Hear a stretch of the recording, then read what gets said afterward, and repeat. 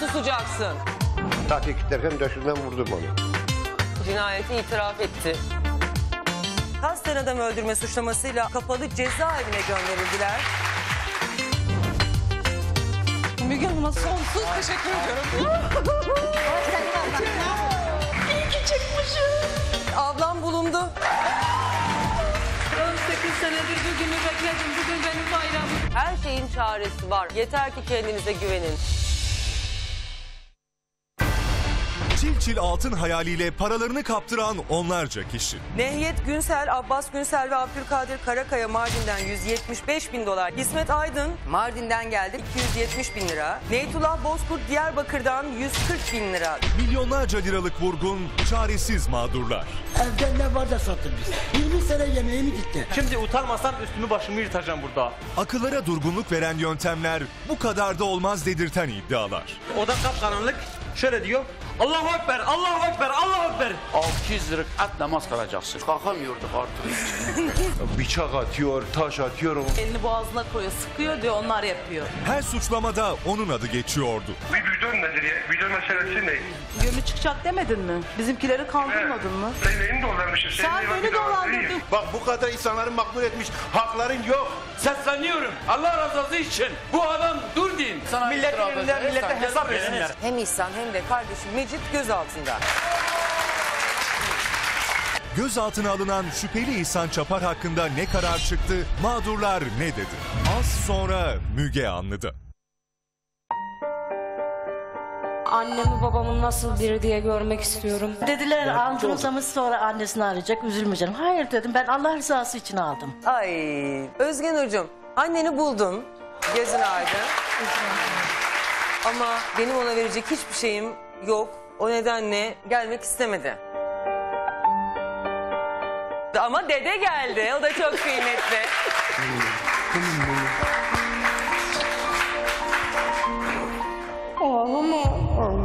Sizin bir suçunuz yok. Böyle olmasını inanın istemezdim. 20 yaşındaki Özgenur'un sürpriz buluşması Merhaba anne. az sonra Müge Anlı'da. Yaşadıklarını anlattı, herkes ağladı. Ben sokaklarda kalıyorum şu an. İş bulursam çalışıyorum. Ve biraz vücudumda titremeler olmaya başladı. Sağlık hizmetinden de faydalanamıyorsun. Faydalanmıyorum. İşte yani durum öyle yani. Müge Anlı söz verdi, üzülme hallederiz hepsini. Biz şimdi el ele veririz. Ömer'i toparlatırız. iş hayatına hazırlarız inşallah. yeni bir hayata başladı.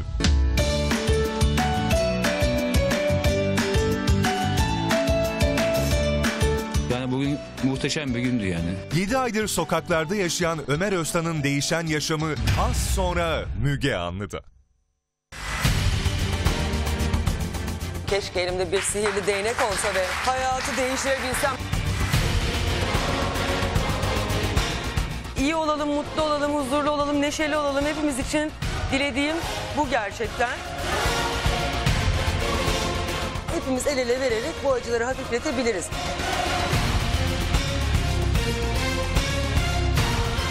Hiçbir şey için de geç kalınmış sayılmaz.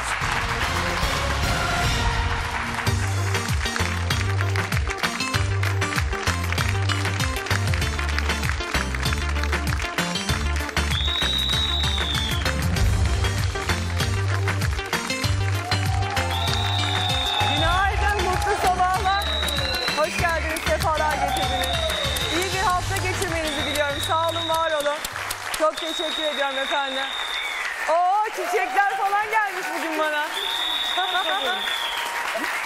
efendim, çünkü sonunda onlarca kişiyi milyonlarca lira dolandırdığı iddiasıyla bir hafta boyunca konuştuğumuz İhsan Çapar nitelikli adam dolandırma suçundan tutuklanarak Mardin cezaevine gönderildi.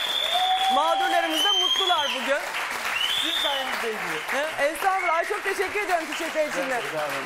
Size teşekkür ediyorum. Heh. Sağ ol. Size yüzünüzü için size çiçek yaptım. Çok Sizi çok sevdim. Çok teşekkür çok saygılı sevgiler sal e, Müjde Hanım saygılar sevgiler iletiyorum size. Çok sizi sevdim ATV taraf bütün Ha, personel kamera. yani, ha. Evet kamera tarafından Tamam. arkadaşlar saygılar sevgiler. Ha. Gözlerini öpüyorum çok çok selam ediyorum size de. teşekkür ederiz. Bize ilgi gösterdiğin için çok çok teşekkür ediyorum. Allah razı olsun size. Böyle coşkuyla ben görmedim yani. Çok coşkun aldım. Sanki evimdedim. Sanki ben bu davayı sürüyorum. Aynen öyledir. Ben kralıyım, siz de kralısınız. Göre şey e, eline düşeni yapacaksın. Evet. Tek bir e, şey vardı Mecit Çapan. O yakalanmamış biraz e, şey. Onun da yakalamasını istiyoruz. Aynı o da yılanın kuru- Dur kuruğudur. onun için anlatacağım ben size Evet. nedenlerini. Teşekkür ediyorum. Çok Bu teşekkür size ederim. Ha. getirdim sizin için. Ha, çok teşekkür ederim. Daha layıksın. Siz daha layıksın. Çok teşekkür Bunu da- ederim. Ben tabii Evet. Eee söyleyeceğim şimdi tabii teşekkürlerinizi Teşekkür kimler ediyorum. adına kabul ettim Sağ olun, diye. teşekkür Çok ediyorum. teşekkür ediyorum. Allah olsun. Ha, Müge Hanım size çok teşekkür ederim. Sizin sayenizde buradayız. Kazandıysak sizin sayenizde kazandık. Size hepinize çok teşekkür ederim. Ve bütün arkadaşlarla, bütün ekipteki bütün teşekkür arkadaşlara. ederim. Sağ olun. Çok teşekkür ederim. Sağ olun. Aman ne Sizin güzel kadar, sizin kadar güzel olmasa da Aman affedin aman. lütfen. Çok teşekkür Rica ediyorum. Sağ olun. Sağ olun arkadaşlar. Sağ olun. Allah. Ay. Canım benim. Allah bakar mısınız? Harika valla. Aman aman aman aman. Valla çok teşekkür ederim ya. Mutlu oldum ben de. Ay bu tamam şunu da şöyle koyayım. Ay Allah'ım ya Rabbicim. Vallahi arkadaşlar uğraştık bayağı bir uğraştık. Şöyle uğraştık aslında. Ben tabii bütün bu teşekkürleri ve çiçekleri e, başta Mardin valisi e, Mustafa Mustafa Yaman, Mardin İl Emniyet Müdürü Hakan Çetinkaya, e, Şanlıurfa e, İl Emniyet Müdürü, Mardin Asayiş Şube Müdürü Ayhan Söğüt, Mardin Yan Kesicilik ve Dolandırıcılık Büro Amirliği ve tüm personeline, Mardin Savur Cumhuriyet e, savcımıza, Şanlıurfa Emniyet Müdürlüğü Kaçakçılık ve Organize Suçlarla Mücadele Şube Müdürlüğü adına falan alıyorum. Aslında o kadar çok teşekkür etmek kişiler var ki. Çok teşekkür ediyorum her birine.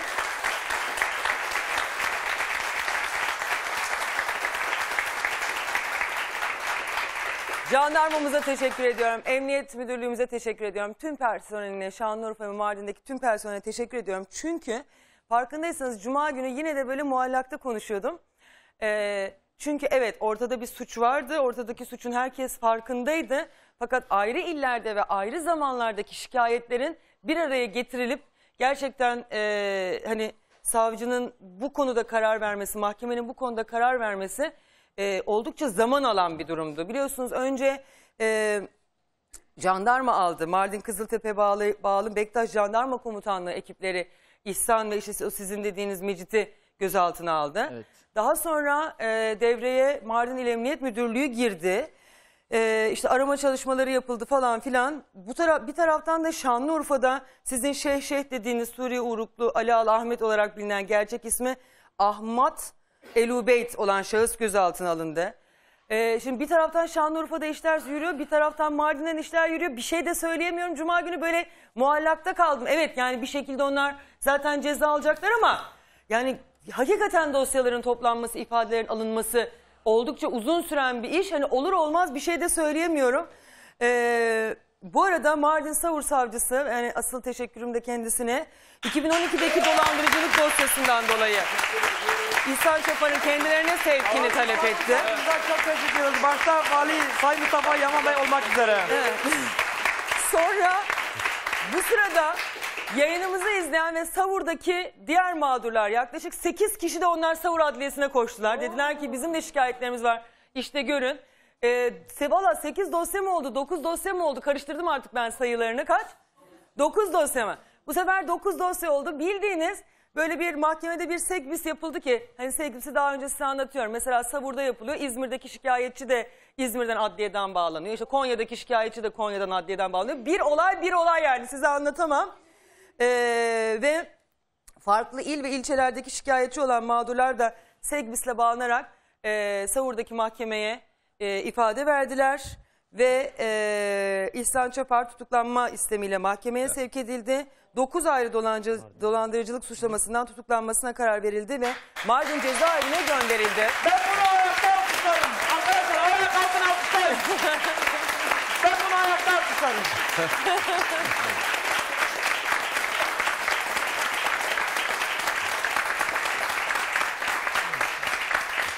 O yüzden diyorum ben de bu alkışları ve çiçekleri bütün emeği geçen herkesin kamu görevlileri adına alıyorum. Ee, şimdi size şöyle söyleyeyim mesela daha sizin şikayetleriniz falan e, şu an gündemde değil. Daha sizin şikayetleriniz siz de gideceksiniz yani siz başvurunuzu yaptınız ama bunların tabii sisteme geçmesiyle ilgili de bir e, zaman var. gerek. Bunlar Savur'daki Doğrudur. şikayetlerle ilgili. Daha Türkiye'nin onlarca yerinden onlarca başvuru var ve hepsi bir araya gelecek. Ee, bu arada bu da çok komik bir adammış bu sizin şey dediğiniz. Suriyeli. He. Komik tarafı ne Müge Hanım? Vallahi böyle komik komik anlatıyormuş bir şeyler yani hiçbir şeyden öyle. Türkçe de biliyormuş aslında. Deli ayağına yatıyor herhalde ya da öyle bir şey yapıyor Vallahi olabilir. bilmiyorum. O şu anda tutuksuz olarak yargılanmasına devam ediyor. Müge Hanım buna itiraz edeceğim. Şimdi o. Müge Hanım buna itiraz edeceğim. Müge Hanım buna itiraz Bir de edeceğim. Mecit Çapar nasıl? Müge Hanım Mecit'e, Mecit'e de itiraz ediyorum. Mecit Çapar'la Ahmet aynı El Übeyt'e de şeydi itiraz zaten. ediyorum. Müge Hanım bunlar da yakalanmadan ben buradan buraya gitmiyorum. Kopsanız da gitmiyorum. Gitmiyorum. Estağfurullah. Ben buradan gitmiyorum.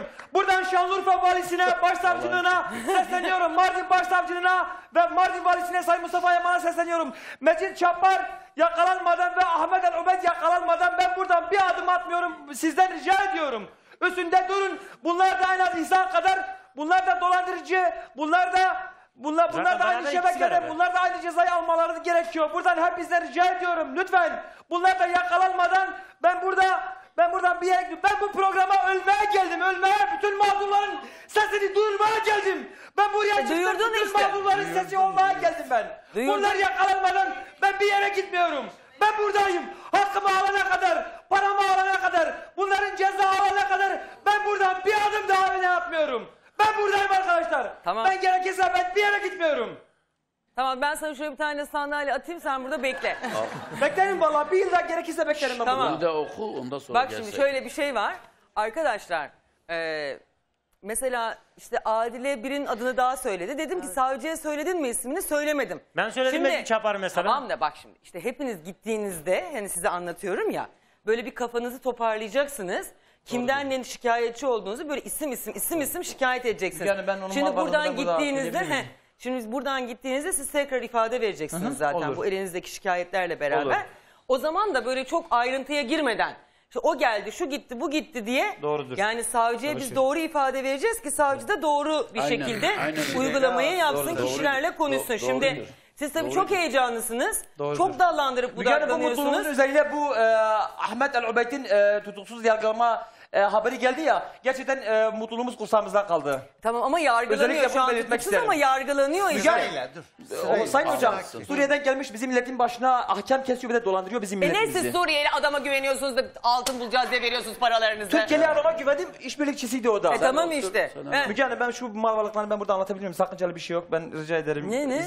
Onun bütün mal varlıkları ben burada... Onları savcıya söyleyeceksin savcıya. Ben burada bir duyurmak istiyorum Hayır gene. hayır duyurma. Sen onları savcıya Müge Hanım, söyleyeceksin. lütfen. Savcı dinleyecek. Dur şimdi Peki, onları Müge Hanım, bilmiyoruz. Onların hepsini benim tek tek burada araştırmam mümkün değil. O yüzden onları savcılık Burada dosyasına bir sesimi girmesi. duyurabilseydim yeterliydi Ya bana. duyurdunuz ya sesinizi daha ne Ee, duyuracaksınız şu, şu, işte. Şu iş yerleri sadece isim vermeden ben onları onlara savcıya, onlara Savcıya şey yapacağız. Anladım. Gelin bir görüntüleri de izleyelim isterseniz Mardin cezaevine gönderilirken. Evet. İşte istiyordunuz ya hep elleri kelepçeli olsun. Ben de Evet. istiyordum. Neden Evet. istiyorum? Bakın şimdi bu tartışmalı bir konu. Ha dolandırılmasınlar diyenler de var. Tamam onlara da saygı duyuyorum. Fakat Şimdi dolandırıcılık başka bir şey arkadaşlar. Yani bu ülkede kimler kimler dolandırıldı. Yani birisi öyle dolandırılıyor, birisi böyle dolandırılıyor. Ama dolandırılıyor mu? Hala daha telefon dolandırıcılığı devam ediyor yani. Bakın hala da artık stickerlar bastırdım. Valla bir ay bitmez. Onu yaptım, bunu yaptım vesaire. Şimdi e, hala daha telefon 50 kere dedik ki burada polis para istemez, savcı para istemez, jandarma para istemez. Sizden para isterlerse zaten siz onları şikayet hakkına sahipsiniz. Hala daha telefonla dolandırıcılık devam ediyor mu? Ediyor. Ediyor. Yani bizim önce kendimizi değiştirmemiz lazım. Biz kendimizi değiştirmezsek bugün altın bulduk diye altın size vereceğiz diye birileri dolandırılır. Yarın gümüş vereceğiz diye dolandırılır. Doğrudur. Ertesi gün başka bir şey için dolandırılır. Biz, Şekil değiştiriyor. Biz evet biz kafamızı, zihniyetimizi, kalbimizi değiştireceğiz. Biz doğru yoldan ayrılmayacağız.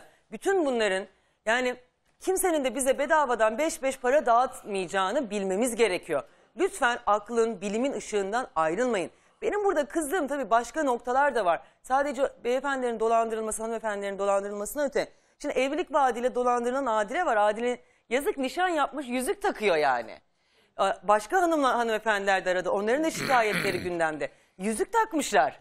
E şimdi insanların duygularıyla oynuyorlar. Dini istismar var. Rica ediyorum bakın bunlar hayatımızın her alanında yineden karşımıza çıkabilir. Öyle çıkmaz böyle çıkar. Ya gidin bir cami hocasına danışın. Deyin ki bu adam bana böyle böyle söylüyor. Yani doğru mu? Öyle hemen gel Kur'an'a el basalım, hemen gel onu yapalım, hemen gel bunu yapalım. Bunlar taktikleri bir. Yani kafamızı değiştirmezsek bugün buradaki 20 kişi, ülkedeki diğer 50 kişi, 100 tane var en az ben size söyleyeyim. 100 kişi var yani. Ha, onlar da bizim ulaşabildiklerimiz. Aile olmasaydı bizi çağırma. Onu gördüm siloda konuşuyordu. Üzüldüm ona. Hemen telefonu asardım. Ben ilk, ilk onu gördüm, ilk geldim. Baktım çok duygulanıyor. Yani günah insanın şerefine oynuyorsun. Sen kimsin oynuyorsun? Sen ne cüretle yapıyorsun? Millet günah değil. Şerefine oynuyorsun. Hem malını alıyor hem kızını alıyor. Varıp bakalım. Bu adam nasıl bir adam? Korkunç bir adam. Böyle bir Bir adam. adile de değil. Ya, Bir de ondan sonra Bak- tutuyor diyor ki olabilir ben de çiftler Kırk- çiftler kadın alırım diyor. Çiftler çiftler kadın Doğrudur. Genç alamazsın. kızların duygusuyla oynuyor İşte, bu Müge ha. Hanım. Var, şeyde Süverek'ten köye gittim. Bunun arkasında koşu. Kardeş dedim dedi, sen bunu yakalan. 40 tane burada kadın burada sihirle yapılmış. Süverek'ten. Se- Sesimizi Yani bizim duyuyorlar, burada biliyorlar. anlattığımız Kiminle şey hepsine değil ki. konuşmuşlar. Bunun Güneydoğu diğerlerinde ben gezmişim. Bunun Dakotları hepsi biliyorum. Ne yapmış? Yani korkunç bir insandır. Tabii Öyle Musa Bey korkunç insan görmedim. artık bazen başına geleni anlatmaya utanıyor. Ne yazık ki Aynen. Aynen. hani Aynen. onlar yapmaya utanmıyor bizler anlatmaya utanıyoruz. Doğrudur. Ee, hani mesela şöyle Meslek diyenler de edinmişler olmuş. resmen. Nasıl buldular paraları nasıl bilmem ne. Efendim herkes gidiyor işte. Annesinin kolundaki bileziği istiyor. Karısının kolundaki bileziği istiyor. Baldızının kolundaki bileziği istiyor. Kardeşinden e zaten alıyor, 6'şer borç tane alıyor. bilezik Aynen. toplasan ediyor sana işte e, ne kadar para. Topluyor topluyor çünkü altın gelecek ya. Onlara da yenisini verecek. Doğrudur. Ama eee, yani ben çok mutluyum. Gerçekten devlet de eee, kararlılığını gösterdiği için zaten her zaman devletimle gurur duyuyorum. Bu kararlılıktan dolayı da teşekkür ediyorum devletin tüm mensuplarına, tüm çalışanlarına. Ya- Olması gereken buydu.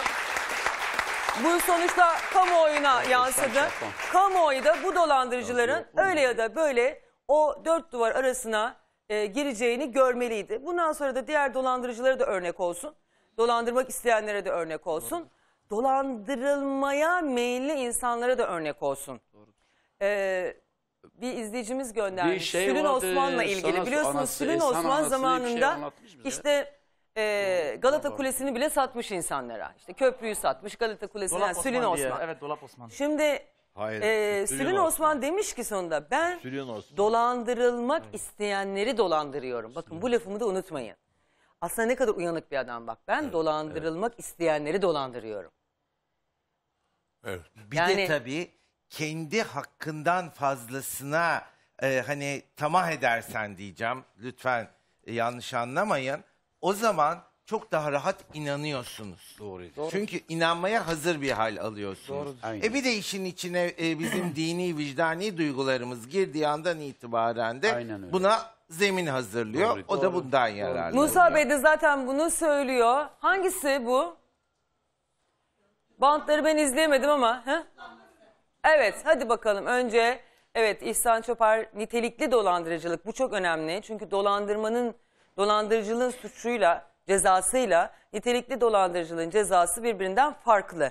O nedenle işte bir araya gelin ve nitelikli dolandırıcılığa sokalım bütün bu yaşananları size demiştim. Bilmişsinden fazla fark eden E bu da bir tabii durum. tutuklanma e, talebine Tabii. neden oluyor. Gayet tabii. Nitelikli dolandırıcılık suçundan tutuklanarak Mardin cezaevine gönderildi. İşte o görüntüler. Adile Yeşilgöz İzmir'den geldi. O 450 bin lira. İsmet Aydın 270 bin lira. Neytullah Bozkurt 140 bin lira. Musa Cihangir 600 bin lira. Rıdvan ve Mehmet Ali Demir kardeşler 450 bin lira. Nehyet Günsel, Abbas Günsel ve Abdülkadir Karakaya 175 bin dolar. Yani 1 milyon 50 bin lira. Bir izleyicimiz 350 bin lira. Yine diğer izleyicimiz 500 bin lira. Aydın Canbek 3 milyon lira. Nermin Turan 145 bin lira. Şefik Bozkurt 35 bin dolar yani 210 bin lira. İbrahim Ekin'den 65 bin lira. Ferdi Yakut'un 160 bin lira. Onlarca mağdur, milyonlarca lira vurgun. Tüm suçlamalar onu işaret ediyordu. Müge Anlı bir kez daha çok sayıda iddianın yer aldığı olaylar zincirini açığa çıkartmış. Bunun üzerine Türkiye'nin değişik yerlerinden onlarca kişi programımıza başvurmuştu. Instagram üzerinden yazdı, tanıştık. Evinizde dedi büyü var dedi. Sonra evinizde gömü falan var dedi. Ben öyle hissettim dedi. Acele nişanlandım ayrılmışım. Bunları bu kendisi uyduruyor. Sizin daha evvel de güveni kötüye kullanma, dolandırıcılık, oto hırsızlığı. Bir sürü şikayetler var sizin hakkınızda. Niye insanlar sizi şikayet ediyorlar böyle? Suçlu. O da kapkaranlık. Şöyle diyor. Allahu Ekber, Allahu Ekber, Allahu Ekber. Toprağımda diyor define vardır. Kur'an'a el bastı. Kimseye söylemeyeceksin. Size Kur'an'a el bastınız. 38 bin dolar orada verdik. Dedi 600 rıkat namaz kılacaksın. Ne dizim kalmış, yara böyle olmuş. Ben namaz kılmıyorum artık. Bitmese tekrar 120 başlayacaksın. Biz de kıldık. 12'den 5'e kadardı. Bizimki de 12'ye gündüz. 12'ye 5'e kadar. Dizlerim zaten hepsi yaralandı yani. Dedim Allah senin belanı versin. senin belanı versin. Hakların yok. Sesleniyorum. Allah rızası için. Bu adam dur deyin. Sana Milletin millete hesap versinler. Ben bunu tüm güvenlik güçlerimizden rica ediyorum. Bu devletin de savcısı var siz merak etmeyin. Bize güzel haber e, Mardin Valisi Sayın Mustafa Yaman'ın özel kalem müdürlüğünden geldi. Dedi ki e, şu anda hem İhsan hem de kardeşim Mecit gözaltında. Müge Anlı Hanım olarak sesimizi duyurduğu için sonra da gerekeni siz yaptığınız için hepinize ayrı ayrı teşekkür ediyorum. Sağ olun, var olun.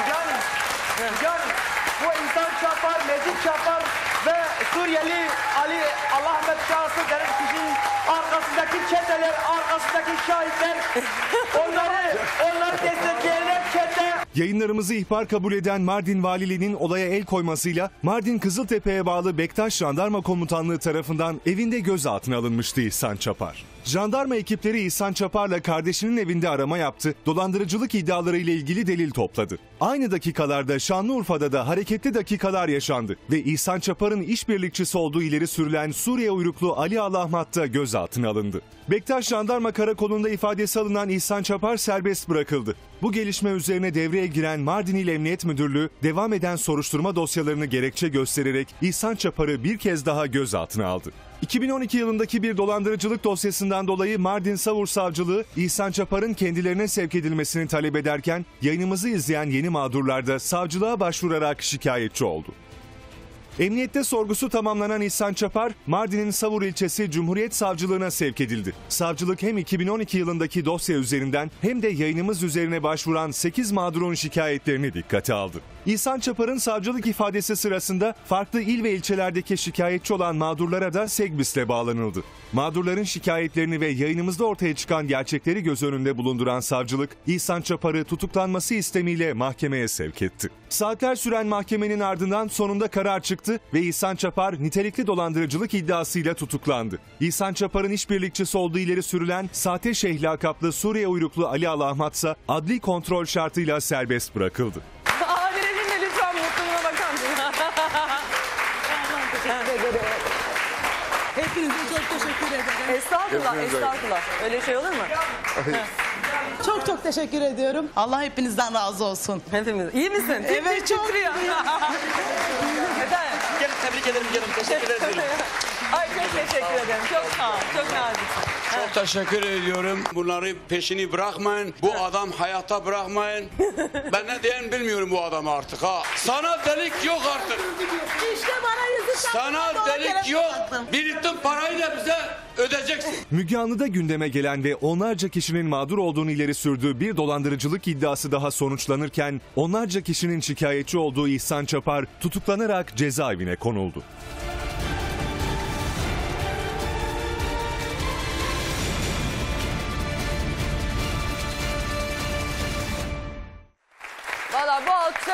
Aslında Adile'ye. Çünkü Adile buraya geldi.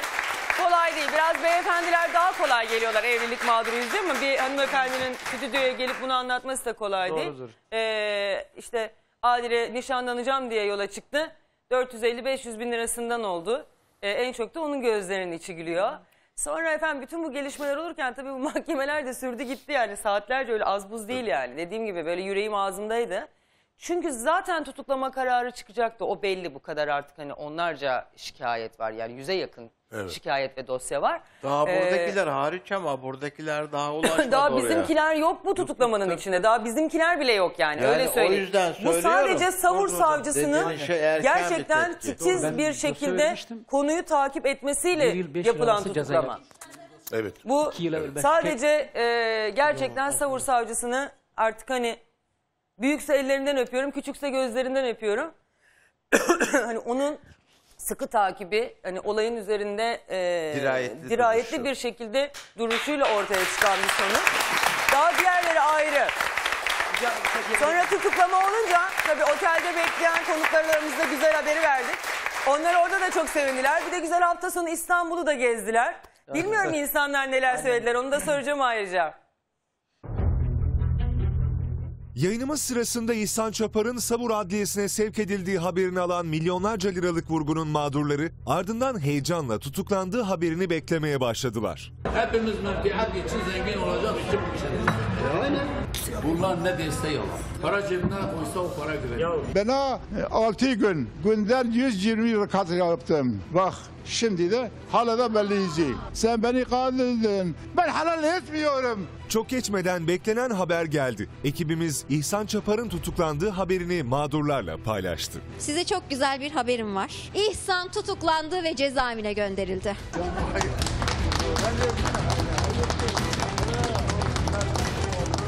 Çok sevindim. 40 sene ceza ona gelsin hala da azdır. Ben çok mutluyum. Bu adam girsin cezaevine bir daha hiçbir zaman da çıkmasın. Çok sevindim. Onu da Allah'a emanet ediyoruz. Kızımı yüzüğü taktı. Ben istiyordum kelepçeye takacak. O da geldi çok şükür. Çok memnunum. Müge çok teşekkür ederiz. Bırakmadı yanına. Onları yanında kal, kalmaz yani. Kalmaz. İhsan Çapan, sen hak ettiğin yeri gittin inşallah orada kalırsın. Hiçbir zaman da çıkmazsın inşallah.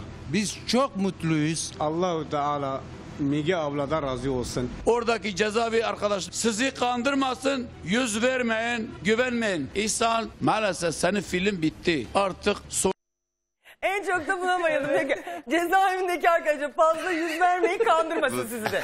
ya ben şimdi konuşurum onlara da hitap edeceğim ki sizi E sen kandıran şimdi birbirine cezaevindeki girmesin. arkadaşlara da hitap edeceksin. Dur o Ede- zaman edeceğim izleyelim tamam onu. sonra alalım hitabetini. Ben evet. onu edeceğim. Zaten- Oradaki cezaevi arkadaş sizi kandırmasın, yüz vermeyin, güvenmeyin. İhsan maalesef senin film bitti. Artık sonun geldi. Bu işi kökünü kazacağız. Çok özlediğimiz, çoğumuzun hayal ettiğimiz bir haber verdiniz. Sayın Müge Anla Hanım'a teşekkür etmek istiyorum. Adalet yerini buldu. Çok mutluyuz. Uzun zamandır zor günler geçiren mağdurlar İhsan Çapar'ın tutuklandığı haberinin ardından İstanbul'un tadını çıkardı. Soluğuysa Eminönü'nde aldılar. İhsan Çapar bizim paralarımızla keyif yapıyordu, geziyordu, eğlence mekanlarına gidiyordu. Biz hayatımızda kendi paramızla buralara gelemiyorduk. Sağ olsun Müge Anlı hanımın sayesinde bize bu imkanları sunduğu için onlar bizi gezdiriyorlar kendi imkanlarıyla. Çok keyfimiz yerinizde. İyi ki de katılmışım programa. Keyifleri hayli yerinde olan mağdurlar Mısır çarşısını gezdiler. Bu sırada dolandırıcılara kaptırdıklarını söyledikleri altınların benzerlerini gördükleri bir kuyumcunun önünde durdular. Böyle bir zincirim vardı. Gitti. İhsan Çapar benim çocuğumun başındaki çeyrek altını bile aldı. Çeyreğine kadar aldı. Altın verdi, para verdi, dolar vermişiz. Altınları gördükçe halimize üzülüyoruz gerçekten. Nasıl böyle bir duruma düştüğümüzü sanki bir rüyadan uyanmış gibi oluyoruz. Zaman zaman yaşadıkları olayları anımsayan mağdurlar kendilerini eleştirmekten de geri kalmadılar. Bizi o kadar kör etmişti. Yemin ederim altın diyebilirdik bunu. Buna da pırlanta diyebilirdik yani. Deniz kenarında çay içmeyi de ihmal etmeyen mağdurlar günü keyifli görüntülerle tamamladı. Ben hepinize teşekkür ediyorum. Valla bakıyorsun Ehsan için şarj makinesi yanımda taşıyorum. İnsan karanlık odalarda gözaltına alınırken ben de deniz kenarında Keyif atıyorum, çay içiyorum. Çok memnunum, seviniyorum yani. Allah'a şükürler olsun bundan daha zevkli bir şey olamaz. Hepimiz mutluyuz. Onu tutuklamışlar, kelepçelemişler. Çok mutluyuz. Denizin kenarında keyif yapıyoruz. 3-4 aydır nefes alamıyordum. Şu an çok güzel nefes alabiliyorum. İnşallah da cezasını çeker. Bir ömür boyunca da orada kalır. İki yıl aradan sonra ilk defa bugün işten güldüm. İşten yani gezdim. Bir de bunun en yüksek cezanın almasını istiyoruz. Ve bütün bunları da Müge Hanım'a borçluyuz. Müge Hanım seni burada çok seviyorum. Selamlarımı, saygılarımı sunuyorum sana. İyi hadi gözümüz aydın artık. Bundan sonrası Allah kerim. Musa Bey cezaevine, Mardin cezaevine sesleniyor bu arada. Evet. Ben şimdi rica etsek bakalım söylerim bu arkadaşlara. Cezaevinde arkadaşlarımıza çok çok selam ediyorum. İnşallah Allah sizi de çıkartacak. Evine, çocuğuna şey geleceksin. Bu Esen Çapan size geldi, size birbirine girmesin. Size dedikodu yapması o adam çok korkunçtur. Çok yalancıdır, yalan makinesi gibidir. Nasıl bir fabrika bir şey üretiyor ya, sonu bitmiyor. Bu adam böyledir. Bu adamı güzelce ocaklayın, anlarsın ben ne diyorum. Çok çok ocaklayın, çok hoşan o adamı. Hayatta o adama inanmayın. Şeytandan daha beterdir. Şeytan yani normal şeytanı bellidir. Bu gizli şeytandır. Bu gizli şeytandır, gizli iş yapıyor. Haberin olsun. Hiç bu insan çapana inanmayın. Ne gerekirse yapabilirsin. Ben cezaevine girmişim biliyorum kuralları. Öz ranzaya da yatırın. Biraz zıplasınlar akşama sabaha kadar daha güzel Valla olur. ne söylediğini çok anlamıyorum. Söyleme kötü bir şey söylüyorsan. Yok yok şimdi yok anlamıyorum ki ben. yatsın güzeli hepsinin üstüne yatsın. Ranza var ya iki kattır. He. Güzel onda üstte yatsın daha Arada iyidir. bir aşağı düşsün Aşağıya orada. düşmesin. O siz altta yatıyorsa o üstte yatsın. Çünkü görevi iyidir ya. Görev yapmış. Ya neyse ben şimdi şunu merak bunu ediyorum. Bir böyle bakıyorsun anlatıyorum. Mardin cezaevinde Evet. İsa'nın bulunduğu koğuşta herkes bir başlamış 600 rekat namaz. Evet. Bence Size de ona namaz verilebilecek en büyük ceza günde 200 rekat namaz kıl mesela 2 saatte demek. Bize kılmış, Ya- size kılmasın. Tamam sen şimdi bak ben çok ne dediğini anlamıyorsun. Böyle bir ironi yapıyorsun herhalde. Ha. Subliminal mesaj mı dönüyorlar. Ben anlamam öyle şeylerden. Sen şimdi otur kötü şeyler de söyleme. Yo, yo, demiyorum. E, tamam Ben- bilmiyorum ben demiyorum. şimdi iyisini. Hakikaten anlamadığım için. bir şey yok. Güzel mesajlar verelim biz. Tamam artık bundan sonra adalet dedim, yerini evet. bulsun. Seversin Bu arada dedim. Cuma günü e, sizi aradılar herhalde paranızı geri ödeyelim diye. Aynen. Şeyden Mardin Derik Adliyesi'nden aradılar beni. Ee, numarası da bende zaten size vereceğim. Ondan sonra ben e, Nevzat dedi. Derik Adliyesi'nde senin verdiğin bir e, şikayet dosyan var dedi. Evet dedim. Buyur dedi. Dedi ben e, Nevzat dedi. İsim verdim de ilk önce sormadım ama. Ondan sonra dedim buyurun dedi IBAN numaranı at senin zararını paranı hemen IBAN'ına yatırayım. Peki dedim abi sen kimsin sen niye ödüyorsun? Ya dedi sen IBAN'ını at sizin hesabınıza para yatırayım. Israrla 2-3 sefer sordum isim söylemedi. Dedim abi senin yanına gelen o zaman kimdir bu parayı yatıracak?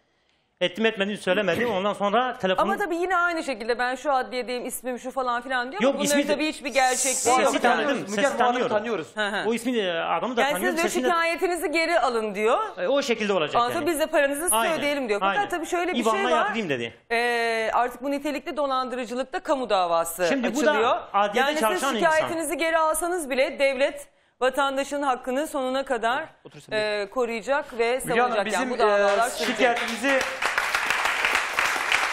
Tamam aç şimdi. Hanım şikayetimizi geri çekecek gibi durumumuz yok. Hakkımızı savunana kadar bir de biz burada tek paramızı alıyorsak biz burada tek kendimizi düşünmüyoruz. Burada mağdurların sesi olmaya geldim dedim ya aslında tam yeridir. Buradaki bütün arkadaşlarım ve bütün mağdur arkadaşların parasını da almadan ben buradan gitmiyorum yani. Bunu özellikle belirtmek isterim. İkincisi madem Ahmet el-Übeyd bir de Mecit Çapar dışarıda ya tutuksuz yargılanıyorlar ya. Onların aşiretinden bilmem arkasındaki e, sağlam duran büyük başlardan bizim paramızı tahsil etsinler. Hepimizin parasını versinler. Burada herkesin şu an- ismini vermeyelim Bir dakika yani. Mehmet Nuri bir dakika. Ben buradan eve gideceğim. Ben buradan eve gideceğim. Benim çocuğum, üç tane çocuğum var. Elinizden öper. Benim Allah önüme koşacaklar. Baba bize ne getirdin diyecekler. Ben onların o şekil, onları o şekil görmek istemiyorum. En azından ben buradan paramı almak istiyorum. Onların ihtiyaçlarını karşılamak istiyorum. Ama bir mahkeme süreci var. Bunu benim kabul etmek banka, benim, zorundasın. benim banka kredilerim var. Benim borçlarım var. Komşumun borcu bile bende. Ben bunları ödeyemiyorum. En azından ben burada ve hepimiz beraber paramızı alarak ben gitmek istiyorum. Mutlu bir şekilde. Mutlu bir şekilde gitmek istiyorum. Aynen bunu e, Mecidi Mecit'le de içeriye Ahmet'e sesleniyorum. paramızı getirsin o zaman. Aynen aşiret, bütün aşireti, bütün çete üyeleri, bütün herkes toplasınlar bu parayı aralarında. Bir onların aldıkları iş yerleri, onların nereye harcadıkları, onların ne arabalar aldığını, ne fabrikalar açtığını, ne işleri açtığını. Mecit hepsini- dışarıdaysa bu parayı toplasın. Yoksa herkesin ismini vereceğiz ona göre. Bu baş çünkü bu Tamam, e, tamam. bir, av, bir, av, bir avcı bir köpek var bu Bir de ortada. Müge Hanım, e, Tamam. İhsan'ın Dur şimdi siz bir annesi- oturun. Müge Hanım, İhsan'ın Şimdi bak annesi bundan aramışlar. sonrası gel bir otur. Şimdi bundan sonrası gel bir otur gel. Dolar Ee, tamam dur söyleyeceksin dur otur. Şimdi artık bundan sonrası yargının işi sabrederek yargının vereceği kararları bekleyeceğiz. Bu arada e, İbrahim Ekin, Ferdi Yakut ve Murat Mutlu da aramızda. İbrahim Ekin 98 bin lira dolandırılmış. Evet. İbrahim Bey hem de 2017 yılında. Evet. S- siz Şanlıurfa'da mı dolandırılıyorsunuz? Şanlıurfa'da. Daha diyorum ya Şanlıurfa ayağı falan daha şey olmadı. Hareketlenmedi daha orası yani hareketlendi. İl müdürümüze teşekkür ediyorum Sayın Selçuk Doğuş'a. Yani herkes kendi ilinde bu dolandırıcılıkla ilgili dosyaları toplamaya başladı, baş- yapıyorlardı ama çok şikayet var. Bir de şikayetler dediğim gibi çok dağınık. Yani o dosyaların bir araya getirilmesi lazım. Bir de yıllara yayılmış. Onların hepsi olacak. Şimdi siz diyorsunuz ki e, 2017 yılında Ortağı Şükrü Tumbul'la beraber Şanlıurfa'da bir hayvan pazarına gidiyor. Karşılarına yine Suriye uy- uyruklu Ebu Salih lakaplı bir Evet.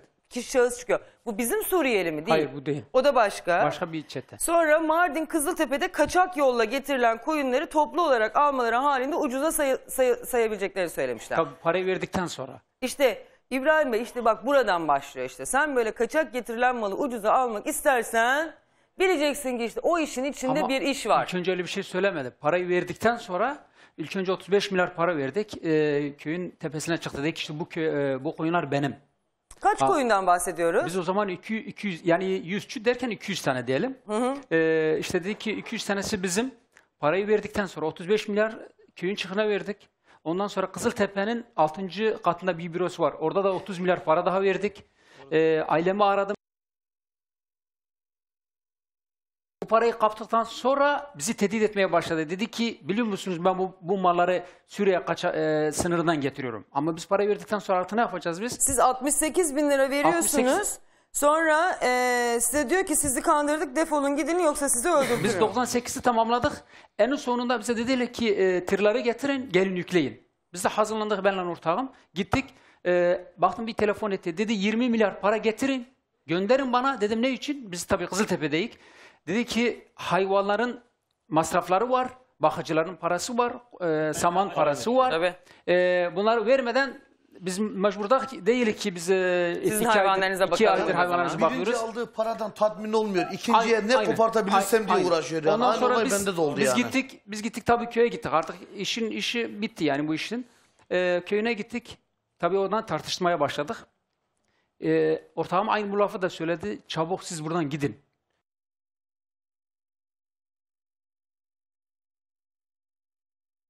Yani ben bir dakika ben bir de e, ondan sonra aradan bir yıl geçti.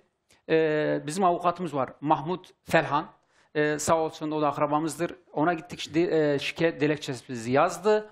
E, dilekçemizden sonra e, aradan iki ay geçti adliyeye gitti. Tabii onu yetişti evrak. Yetiştikten sonra e, baktım beni aradı. Kendisi beni aradı. Ya dedi e, İbrahim dedi ben seni seviyorum. Sen bunların içinde ben seni ayrı tutuyorum. Tamam dedim buyurun. E, sen niye yanıma gelmedin? Paranı vereyim. Ben bunu çünkü ben bileyim ki konuşmalarımızı savcıya vereceğime ben adım gibi eminim. Çünkü ben bu konuşmaları hepsini savcıya verdim. Telefonla dinlemeye savcılara Verdin verdim. paranı verdim. geriye? Hayır. Ondan sonra e, dedim ki muhtar. Kendi yalancıdan bir muhtar. Dedi muhtar Kendini sana muhtar olarak Aynı mı muhtar, tanıttı? muhtar tanıtıyor. Dedim muhtar. e, Aa. ben ben canı can güvenim olmadığı için, can güvenim olmadığı için ben nasıl köye gelirim? Sen bana geçen gün dedi, tehdit ettin ben sizi öldürtürüm. Ben can güvenim olmadığı için ben gelemem ki. Ha ondan sonra e, biz adliyeye gittik. Savcılar da tabii sağ olsun Urfa'daki emniyetimiz olsun, savcılarımız olsun bu konudan e, yardımcı oldular. Özellikle avukatımız. E, tabii biz şey e, üç sefer mahkemeye çıktık. Sonuç ne oldu? So- e, daha hala da devam ediyor. Ondan sonra Mardin'den beni bir uzlaştırmacı bir adam aradı. E, Mehmet Said diye biri Mardin'den, adliyesinden. Ya dedi ki Ya İbrahim... adliye dedi mi? Ben bunların hiçbirinin adliyede çalıştığına inanmıyorum. He, evet. Çünkü ben gittim yo ben gördüm adamı. He. Gördüm numarası da bende var. Dedi ki e, siz böyle böyle bir durum yaşamışsınız değil mi? Evet. Dedi siz ulaşmaya gelecek misiniz? Dedim valla ben He, mas- uzlaşmadan Uz- aradılar Evet, anladım. Ha, ha, tamam. Dedim ki ben 100 milyarımızı versin ben vazgeçerim. En azından çoluk çocuğu var dedim. Allah balasını versin dedim. Verdi mi? Ha, ondan sonra onu aradılar. Hayır, onu ara- aramışlar. Demiş ki ben bunları tanımıyorum. Öyle bir şey yok. Ee, ondan sonra ben kimseyi tanımıyorum. ben bunların parasını ben yemedim. Süreler yedi. Dedi ben yemedim, Süreler yedi. Tabii oradaki adamlar da demiş ki madem sen tanımıyorsun. Bu Süreleri nereden tanıyorsun sen? Ha o aslında ben telefonlarımı savcılığa vermişim. Hala da dinlenmede. Telefonlarımı savcılığa vermişim. Savcı bunu ikna ettirdiler. Hatta bir yıl beş yıl arası şu an ona ceza gelmiş. Ben Hala gittim. tutuklanamıyor. Bir yıl beş yıl Tutuklandı arası işte. ceza gelmiş adama. dahil yani. Bir de firardı bunlar. Hala da etti, o 2019'dan beri be- bir yıl beş yıl arasında madem e, davayı 5 yıldan az kazanmışım. olduğu için de tutuklu Yok, Müge Hanım, yargılanmıyor şimdi falan buraya gibi bir gelmeseydi takım gerçekten mevzular bunlar var da hala neyse şimdi onlar Gerçekten uzun bu bir yani. gerçek yani. Bir yıl beş yıl arasında ceza gelmiş ona. Hala da daha tutuklanmamış. Tamam. Yani işte şimdi 2019 işte bundan sonra inşallah. Ya inşallah biz de, de gayetimiz Yani bir odur. de çünkü bu olayın Şanlıurfa arağı var ya bakın ama Ferdi Yakut da mesela siz nerelisiniz? Ben Urfalıyım. Siz Şanlıurfa. Urfalısınız. Ferdi mesela Kayseri'den Evet. gidiyor. O da 2018 yılında küçükbaş hayvan almak için yanına gidiyor ve 160 bin lira sizde dolandırmış. Doğrudur, evet. Abi çok büyük paralar bunlar ya. Ve hak- hakikaten çok Öz- üzülüyorum özellikle, yani. Özellikle Kayseri'den gidiyorsunuz. Ee, yine yanlarında çalışan Suriye isimli Feyyaz, Feyyaz isim Suriye uyruklu Feyyaz isimli şahıs aracılığıyla kendisini size de köy muhtarı olarak tanıtmış. Tabii tabii evet muhtar olarak. Vallahi muhtarım bu da fari muhtar olarak hani siz muhtarsınız Müge bu da kendisini muhtar fari muhtar olarak tanıttı tanıtıyor. ama yani e, köyün girişindeki petrol geçen ben yayına gelmedim ama seyrettiğim zaman e, petrol bar, muhtar asıl şu andaki muhtar petrol bizim diyor. Bu muhtar denen kendi bize tanışan İhsan Çapan bizi petrola götürdüğünde bura benim dedi yani. Geçtik Aynen. içeri Aynen. yazarısına oturduk Aynı- yani. aynı petrolün Tamam ben ortağı. yayına katılmadım ama madem kendi yeri değil muhtar değil de nasıl petrolde bizi yazhaneye oturtturuyor da petrol benim diye e, bir şey yapıyor yani. Tanıtıyor. Açıklıyor yani tanıtıyor burayı. Oranın hiç mi sahibi yok veya elemanların demek hiç mi haberi yok ki? Bu adam Hani oraya dedi rahatça ya, girip ipleri gelirse çalmış, muhtar çalma falan bildiğini değil. söylüyor yani bu adamın dolandırıcılık yaptığını. Neden o zaman petrolün ayak bastırıyor bunu peki? Adam bize yazıhanesine getiriyor, oturtuyor. Bura benim diye kendi muhtar olarak tanıtıyor yani. O petrolün ortağı, ortağı. O petrolün ortağı o. Petrol bizim diye kendini tanıtıyor. Orada oturtuyor, çay içirtiyor. E, sonradan şimdiki asıl Muhtar muhtar da Bey çıkıyor. bakın bu iddia da önemli. Çünkü mesela bu iki kardeşle ilgili çocuk ticareti yaptıklarına dair e, internette yayınlanan şey de sizden çıkıyor. Sizin o Doğrudur. petrolden çıkıyor. Doğrudur. Dediniz ki onu yanımdaki çocuk yapmış. Evet hatalıyım ama ben fark etmedim. Ama şimdi Ferdi Bey de diyor ki biz gittik orada. Orada yazıhanede oturduk. Petrol benim dedi, muhtarım dedi. O zaman muhtar niye bu dolandırıcılığı alıyor da yazıhanesini açıyor diye soruyor Ferdi Bey. Yani bence bu da bu soru da cevaba muhtaç. Doğrudur. Haklı bir soru. Çok haklı bir soru. Ve dikkate alınması O zaman sokmazsın gerekiyor. o adamı yani. Zaten şimdi Yani böyle bir şey olduğunu bilse suçun yani bu da neden o adamı soksun 2018 yani bildiği yani, zaman. yeni kon yeni dava. Türkiye'nin neresinde Bir de bir senelik yani 14-15 bulunurlarsa aylık bir dava bu bulunsunlar, yani. Buradaki yapılan şikayetler de suçun işlendiği yer savcılığına gidecektir. Yani hepsi dosyalar suçun işlendiği yer savcılığında toplanınca işin nitelikli ağırlığı Bak o çıktı zaten. Bu konu hakkında ne evet, diyorsunuz? her şeyi ortaya çıkacaktır. Bu konudan bir şey diyordunuz siz. Tamam neyse. Evet. Yani Feride diyor ki niye o zaman e, bize ofis açıldı, niye Evet, yazıhane açıldı ve yani? biz muhtar sandık petrolünde. Aslında siz de hem muhtar hem de o petrolün sahibi diye daha fazla güvendiniz. Gelen kendilerini Hamdullah ve Nasir olarak tanıttığı görüntülerini gönderdim zaten. Bu kişilerin resimler de vardı çektiğim. E, sizin yayına gönderdim. Bunlar kendisini abisi olarak tanıttı. Geldiğinde bize dedi ki işte biz bu köyde bir aşiretiz. Adımız var yani köyün e, topraklarının geneli bizde yani. Biz sürekli dışarı ihracat yapıyoruz. Bu şeylerle kandır ama gelen kişiler de vatandaşlar işte muhtarım diye hitap ettiği için biz bilmiyoruz ki kimliğine çıkartıp bakma siz gibi bir diyorsunuz şeyimiz ki yok orada yani. bayağı bir kumpas döndü yani. Aynen öyle bayağı bir kumpas döndü. Evinde üç gün misafir kaldık biz bu adamın muhtar denen evde. Evi de de- dediğim yer yani kale gibi. Yüksek duvarlar üstü tel örgüler, kamera, Kamera, sistemleri komple. Aynen, aynen. Hep biz bu adamın Yani evinde yani üç köyün gün dört gün içinde misafir sadece kaldık yani. evinde kamerayla tel Yani var. bir hudut Bir karakolu suçu gibi, yoksa. bir hudut karakolu gibi, hudut Yani bir askeri geliyor ya. sağlam bir değil hudut öyle karakolu diyeyim gibi evin etrafını sarmış, dikenli tellerle, jiletli tellerle, tel örgülü yüksek yüksek duvarlarla Her dört bir yandan kamera, girişte kamera. Her oraya gelen gidene tanıdığına kimlik soruyor. Öyle kapıda nöbetçisi var. Ha şu Ali Veli Konyalı evet bunu içeri al. Şu, şu nereli bunu alma. Şunu silah alın şunu kovun korkutun bir daha köye girmesin. Adamın öyle bir korumaları da var. O gün asker baskın vermişler. Demek ki geleceğini biliyorlardı ki saklanmışlar. Dağılmışlar orada. Dağılmışlar. Bir de Hani mafya tarzında adam hudut takılıyor karakolu-. Bir de zaten Suriye... özel şoförü bir dakika. Mehmet Nuri bir dakika. Suriye sınırına 500 kü- 500 metre Özel sadece şoförü 500 var. metrelikte bir uzakta. Adam hudut karakolu gibi korunuyor orada. Hudut karakolu. Ka- Şeyde duvarda bir delik açmış. Buradan annesinin evine atlıyor. Arada bir şey var ya. Oradan buraya buradan oraya. Hani bir evinin kapısı çalınsa hemen annesinin evine kaçıyor. Oradan bir kapı çalınsa buraya kaçıyor. Adam saklanmak için. Dört eee kapıdır. Dört kapı bak. Dört Musa dayı kapıdır. gidip görmüş. Beni Yani içeriye almadılar. Ben içeri köstebek gibi gittiğimde... evdir. Ben içeriye Köstebek gitmedim. gibi içeriye hiç gitmedim. Beni Küçük ka- küçük içeriye almadılar. odalar, pencereler. Mesela kamerada bakıyor. Ben burada geliyorum. Oradan çıkıyor buraya. Ben burada gidiyorum. Oradan çıkıyor. Dört kapıdır. Giriş çıkışıdır. Mahalle oraya buraya. Ben onu yakalamaya gittim. Dedim çık çık. Ben bilmiyorum orada kaçacak. Ben damın üzerine çıktım. Baktım öbür kapıda duvardan açladı. Ben de mesela nereye kaçıyorsun? Niye kapıyı bize açmadın? Ben e, sizin paranızı vereceğim. E, bekleyin. Kardeşim sen para demişsin. Ben kimseye para vermiyorum.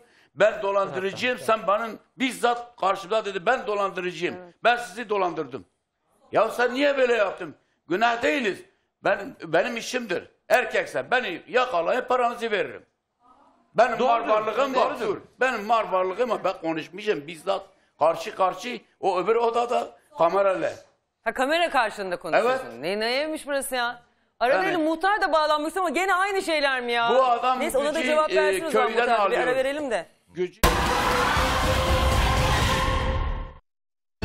Bizi her zaman arayabilirsiniz. 0212 354 43 25 354 43 26. Canlı yayın sırasında ulaşabileceğiniz telefonlarımız 0212 639 42 63 639 50 17. Muhtar da sanırım izleyememiş. Telefonu meşgul herhalde birileri arıyor söylüyor ama ilk karşısında demişken ne söylüyorlarsa doğru söylemiyorlar. Yalan söylüyorlar demiş sizler için. Ee, dediğim gibi eğer hani bununla ilgili de elinizde bir takım bilgileriniz, belgeleriniz varsa savcılığa gittiğinizde bunu da belirtin. Yani sonuçta savcı onu yapan savcı eğer bir suç unsuru varsa e, diğer kişiler için de aynı Gereğini işlemleri uygulayacaktır. Gereğini yapacaktır. Şimdi önemli olan dediğim gibi e, kim şikayetçi ise tam zamanıdır gidip şikayetini yerli yerine ulaştırması. E, biliyorum çok heyecanlısınız. E, insanlar paralarını da istiyorlar. Çünkü o paraları elde edilmek için işte bankadan kredi çekilmiş, birinden borç alınmış, tefeciden borç alınmış. Yani o verdikleri paraların da üzerinde faizler binmiş. E, gerçekten ceplerinde paraları kalmamış. Yani insanların bu kadar böyle feveran etmesinin de çok haklı sebepleri var. Herkesin çoluğu çocuğu var. Ee, ve herkes evine para götürmek istiyor. Mesela kardeşler şimdi bankadan kredi çekmişler. E kredi zamanı gelmiş. E nasıl ödeyecekler? Parayı bir şekilde almaları lazım Bir ki de evlerine ödesinler. haciz gelecek bundan Ee, sonra. yani hani bir sürü Evlerindekiler de işler var gidecek ama yani. dediğim gibi bu kadar hızlandırılması büyük bir gelişme. Devam edeceğim yeni bir gelişme olursa. Ya elimde de bir mesajlar var da onları okuyorum. Ben de bu insanların birbirlerine nasıl mesajlar attığını gerçekten hiç anlayamıyorum. Bence bu kadar böyle özel hayatınızı mesajlara dökmeyin. Çünkü bulunuyor. Neyse bu da ayrı bir konu onu ayrıca söyleyeceğim de. Şimdi ay size Ömer'i izlettireyim mi? Ben biliyorsunuz Ömer'i çok sevdim. Bence siz de Ömer'i çok sevdiniz. Çünkü e, Ömer 8 aydır yok diye ablası stüdyomuza gelmişti. Korkmuştum da ne yalan söyleyeyim. 8 aydır bir insan niye arayıp sormaz ki? Herhalde başına bir iş geldi diye düşündüm. E, Ömer'i gördünüz. İşte aç kalan insanın hali, iş bulamayan insanın hali zaten kendisini gösteriyor. Ama benim Ömer'de en çok hoşuma giden tavır, tavır onurlu tavrı oldu. Sadece programda değil. Yani oradaki emniyette de söylediler mesela yemek ısmarlayalım demişler. Belli adam aç istememiş su verin yeter demiş. O kadar da böyle hmm, yüreği güzel bir çocuk hak, et, hak etmediği bir şeyi O durumda istemeyen bir polislerin çocuk. uzattığı parayı kolay kolay herkes reddetmez. Çünkü acılık insanın onurunu dahi ayaklar altına almasına göz yumabilir. O açlık içinde, o sefalet içinde dahi hayır ben para ve yardım değil iş istiyorum. Çalışıp emeğimle para kazanmak istiyorum demek gerçekten bir onur meselesi. Evet o, o Evet. çok hoşuma gitti Evet. benim. Onun o tavrı Evet. çok hoşuma gitti. Belli ki ihtiyaç sahibi, belli ki bir takım mental sıkıntıları da var ya da yani psikiyatrik sıkıntıları var. Hani aileden genetik gelen bir takım sıkıntılar olabilir ama insanın yüreği çok önemli. hangi hastalığı yaşarsanız yaşayın. Yüreğiniz iyiyse işte o hastalığı da o yine iyi yürekliliğinizle devam ettiriyorsunuz. Yanılıyor muyum hocam? Çok doğru Yani kötü söylüyorsun. yürek kötü yürekli olmak başka bir şey. Ee, o zaman hastalanırsanız o kötü yüreğinizle yapacaklarınız farklı bir şey. İyi yürekliyseniz yine hastalandığınız zaman yapacaklarınız farklı bir şey. Ömer'deki en çok o hani nüvesi mi derler o hoşuma gitti. Evet, o iyi doğru. kalpliliği, e, Çok sakinliği hoşuma gitti.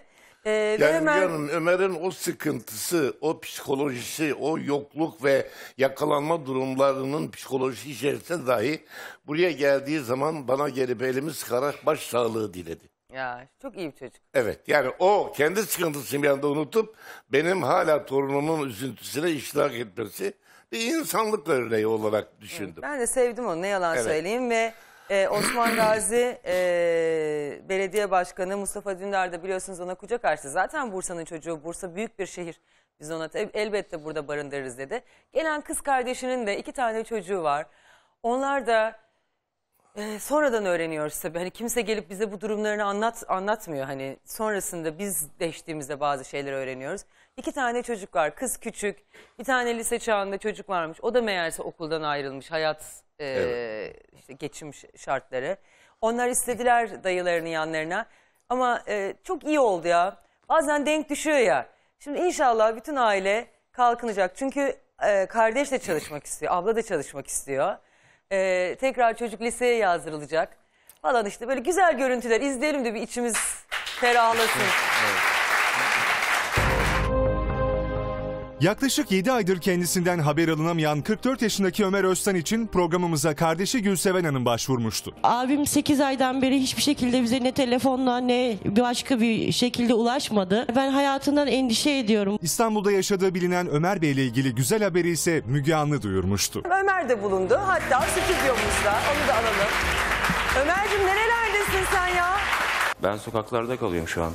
İş bulursam çalışıyorum. Senin şu anda böyle gideceğin işini falan yapabileceğimiz bir Yok, köyde hiç- falan bir yok, evin bir benim şeyin şu- var mı? Yok hiçbir şey kalacak kalacak hiçbir yerim yok benim yani. Ama olsun yine de buna Allah'a şükürler olsun. Belki benden daha kötüleri de vardır. Dün sana emniyet yetkilileri de para vermek istemişler. Bu polislerin de var ya yani. Para vermek Gerçekten istediler. çok Ben is- seviyorum ya, polisleri. ya Tarık Bey var orada sağ olsun. Onu da kabul Sa- etmemiş. bana o etmedim. kadar da düzgün bir çocuk ki. Etmedim. Etmem de yani. Etmem. Bana dedim iş lazım dedim. İş verirseniz dedim çalışırım. Ve biraz vücudumda titremeler olmaya başladı. Hani ben hani size çok teşekkür ediyorum ama işte yani durum öyle yani.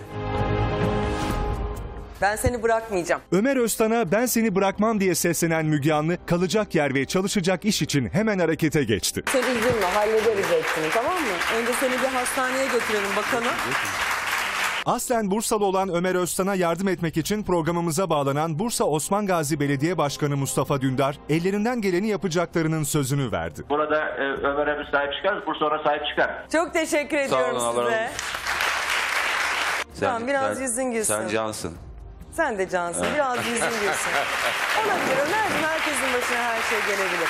Biz şimdi el ele veririz. Ömer'i toparlatırız. iş hayatına hazırlarız inşallah. Her şey olabilir. İnşallah. Programımızın hemen ardından Ömer Bey için harekete geçildi. İşe ilk olarak alışverişle başlandı.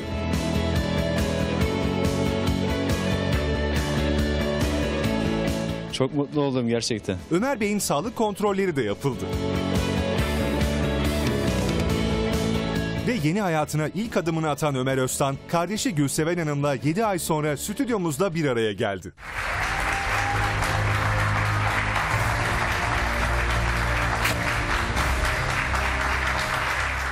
Sizin kalbiniz de gerçekten çok temiz.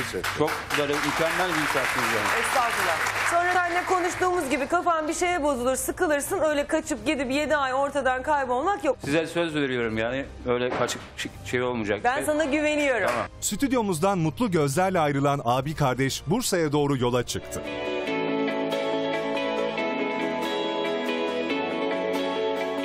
Çok mutluyum. Size çok teşekkür ediyorum. Müge Anlı'ya özellikle. Şu an aldım onu Bursa'ya götürüyorum. Artık bana emanet. Gözünüz arkada kalmasın. Öncelikle e, Müge Anlı'ya çok teşekkür ediyorum. Mutluyum yani. Yani dün di- dile getiremiyorum yani. Hatta bu gece sab- sabah 5'te kalktım hani belediye başkanımızın yanına gideceğim o bana iş verecek diye yani uyuyamadım bile yani.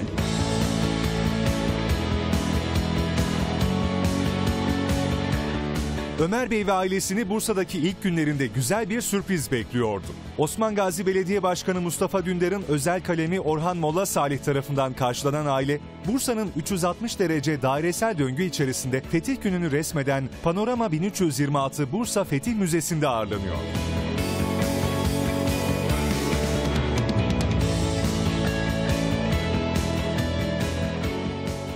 Bu tarafa da geldiğimizde artık Osman Gazi'nin oğlu Orhan Gazi Bizanslardan ve Bizans'ın Bursa Tekfur'undan şehri teslim alıyor. Ve önümüzde tam mor kaftanlı birisi var.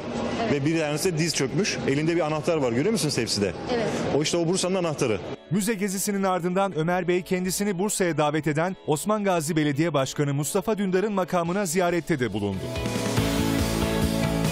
Yani İstanbul'dan geldi. Yeniden e, sıfır bir hayata başlarken evine kontrol edip e, ihtiyaçları, talepleri nelerdir, ne yapılabilir e, ve bunu inşallah bir rayına koyacağız. Pazartesi bir başlarız çalışmaya. Arkadaşlarımız zaten gerekli görüşmeleri yaptılar. Onun e, pozisyonuna uygun e, bir şekilde yardımcı olacağız. E, onu iş sahibi yapacağız. Tabii e, ondan sonraki adımlar bak yani konu yeni farklı şeyler çıkıyor. Bundan sonraki adımlar da inşallah e, bir aile ortamını tekrar gene sağlamak. İnşallah, inşallah. Allah Allah sizleri de Allah muvaffak etsin. Allah sizleri de başımızdan eksik etmesin başkanım. Çok sağ olun başkanım. Sağ olun. Hayırlı günler dilerim. Ömer Öztan'a iş sözü veren Başkan Mustafa Dündar'a Ömer Bey de çok çalışacağının sözünü verdi. Ben de sizi tabii utandırmayacağım. Yani verdiğiniz işe yani elim iki elimle sarılacağım. Çok teşekkür ederim ben kendilerine. Başkanım sağ olsun. Başkanımızdan Allah razı olsun. Ziyaretin ardından Ömer Bey ve ailesi sosyal hizmetler görevlileriyle evlerinin yolunu tuttu.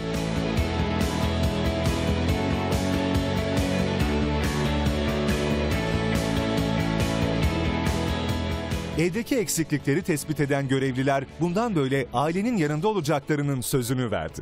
gerekli tespitler yapıldı. Fen işleri olarak, belediye olarak bir boya badana yapılacak. Ee, evimizde kardeşimizin işte odasında birkaç eksiği var. Bilgisayar masası, yatağı falan. Bunlarla ilgili bir çalışma yapılacak. Günlük sıcak ekmek problemi vardı. Onu da hallettik. Ee, kardeşimizin bir de e, yarım gün çalışabilirim Evet. tarzında bir talebi olmuştu. Bununla ilgili de bir pazartesi günü biz elimizden geleni yapalım. O okulla ilgili de e, önümüzdeki hafta herhalde lisede arkadaşımız Milli Eğitim Müdürlüğü'ne görüşeceğiz. Geri dönüşünü sağlayacağız.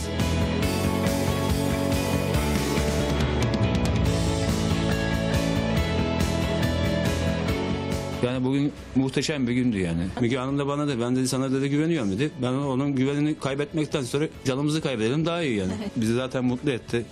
Allah da onu mutlu etsin yani ne diyeyim. Gönlünden ne geçiyor sonra da versin. Ben buradan Müge Hanım'a çok teşekkür ediyorum bizimle ilgilendiği için. Allah onlardan razı olsun. Müge ablayı çok seviyorum. Buradan öpücükler yolluyorum artık. Müge abla seni çok seviyorum. Evet şimdi onlar artık dört kişilik bir aile olarak yaşamlarına devam edecekler. Dilerim çok mutlu olurlar.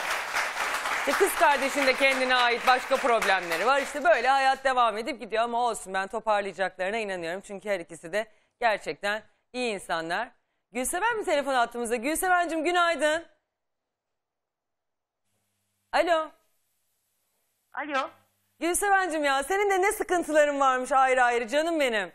İzledin mi Müge abla beni? İzledim. Çocuklarımı da gördün mü? Onların da senden istekleri var. Biraz pahalıya. Gördüm gördüm Allah bağışlasın İnşallah her birini yapacağız. Senin de ne sıkıntıların varmış canım benim. İnşallah hepsi yoluna girecek ben inanıyorum. Ben Bursa'da zaten tek başıma yaşıyorum. Çocuklarımla birlikte yaşıyorum Müge abla. E, maddi durumum bayağı bir bozuk. Yardım alarak geçiniyorum devletten. Tabii orada geldiğimde bunları söyleyemedim. Çünkü abim için geldim. Öncelik abimindi. Onu bulmaktı. E, sağ olun size abimi buldunuz. Bizi kavuşturdunuz. Bursa'ya kadar getirdiniz. Her şeyle ilgilendiniz. Çok teşekkür ediyorum. Yani belediye başkanımızdan söz aldık abim için, iş için. Hatta ben kendim bile yarım gün çalışmak istedim. Onun için bile yardımcı olacaklarına söz verdiler. Çalışın Çünkü hayatım. çalışmadan olmuyor. Yani hazıra daha dayanmaz. Beklemekle de olmaz. Aynen öyle. O İki yüzden tane ben de evladın var. söyledim. Mühim olan o çocukların okula gitmesi de çok önemli Gülseven. Aynı kaderi Evet. yaşamamalı çocuklar bizlerden. Bizlerden çok daha iyi olmalılar. Aynı kaderi yaşamamaları için gerçekten tüm gücümüzle onların eğitimine önem vermek zorundayız. Bir anne babanın çocuğuna bırakabileceği bence tek miras eğitim. Çünkü her şey gidebilir. Yani mal gider, mülk gider, yaşam gider, sağlık gider, eğitim. Yani eğitim vermek zorundayız. Çocukların da çok tatlı Allah bağışlasın. Şimdi ben de sizi belediye başkanımıza emanet ettim ama her zaman beraberiz inşallah. Güzel haberlerinizi, güzel fotoğraflarınızı bekliyorum. Çalışkan insanlar bunlar. Ee, abla kardeş. İyi olacaklarına ben inanıyorum. Ben de her zaman yanınızdayım. Bakmayın aslında adamcağız da kaçmamış yani. İstanbul'a gelmiş çalışmak için. Telefonunu çaldırmış, onu bilmem ne yapmış. Çaresizlik çok kötü bir duygu Müge Ee, Hanım. Ama yani. gerçekten çok şerefli bir kişi. Yani e, Güzel, onuruyla yine de ayakta durmaya çalışıyor. Kimseye belli etmemeye çalışıyor.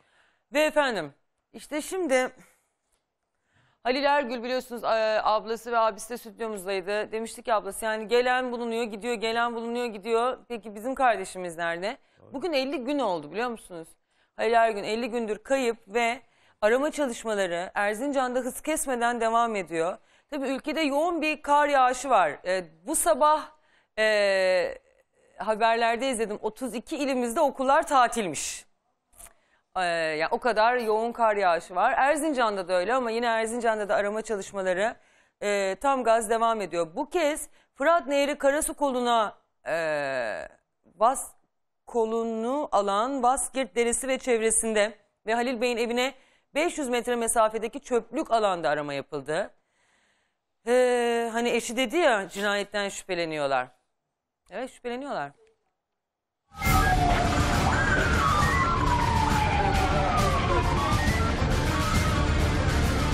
25 Aralık'tan bu yana kendisinden haber alınamayan Halil Ergül'ü arama çalışmaları sürüyor. Arama ekibi bu kez Fırat Nehri Karasu koluna akan Vaskirt Deresi'nin çevresi ve Halil Ergül'ün evine yaklaşık 500 metre mesafedeki çöplük alana yoğunlaştı.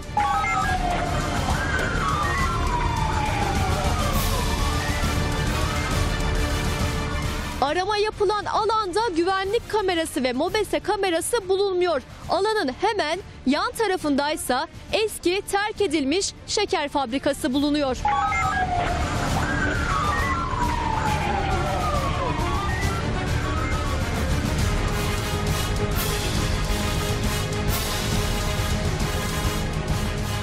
Bölgede bulunan ve halen kullanılmakta olan demir makine fabrikası da daha önce aranmasına rağmen ekipler tarafından yeniden arandı.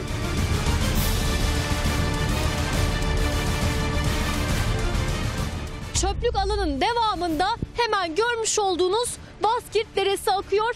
Bu dere daha önce arama yapmış olduğumuz Fırat Nehri Karasu koluna bağlanıyor.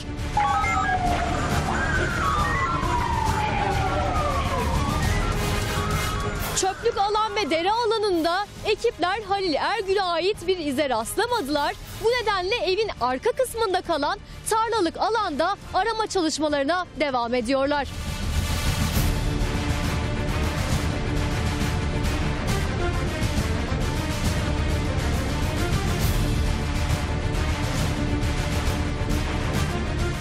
Arama yapılan alanda bir logar göze çarptı. Hemen bu logar kapağı da açılıyor.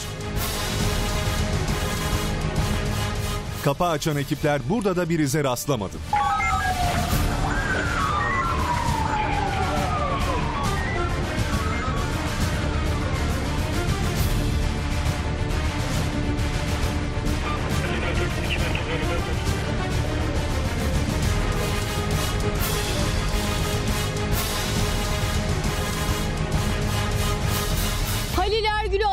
Çalışmaları bugünlük tamamlandı. Halil Ergül'e ait herhangi bir ize rastlanılmadı.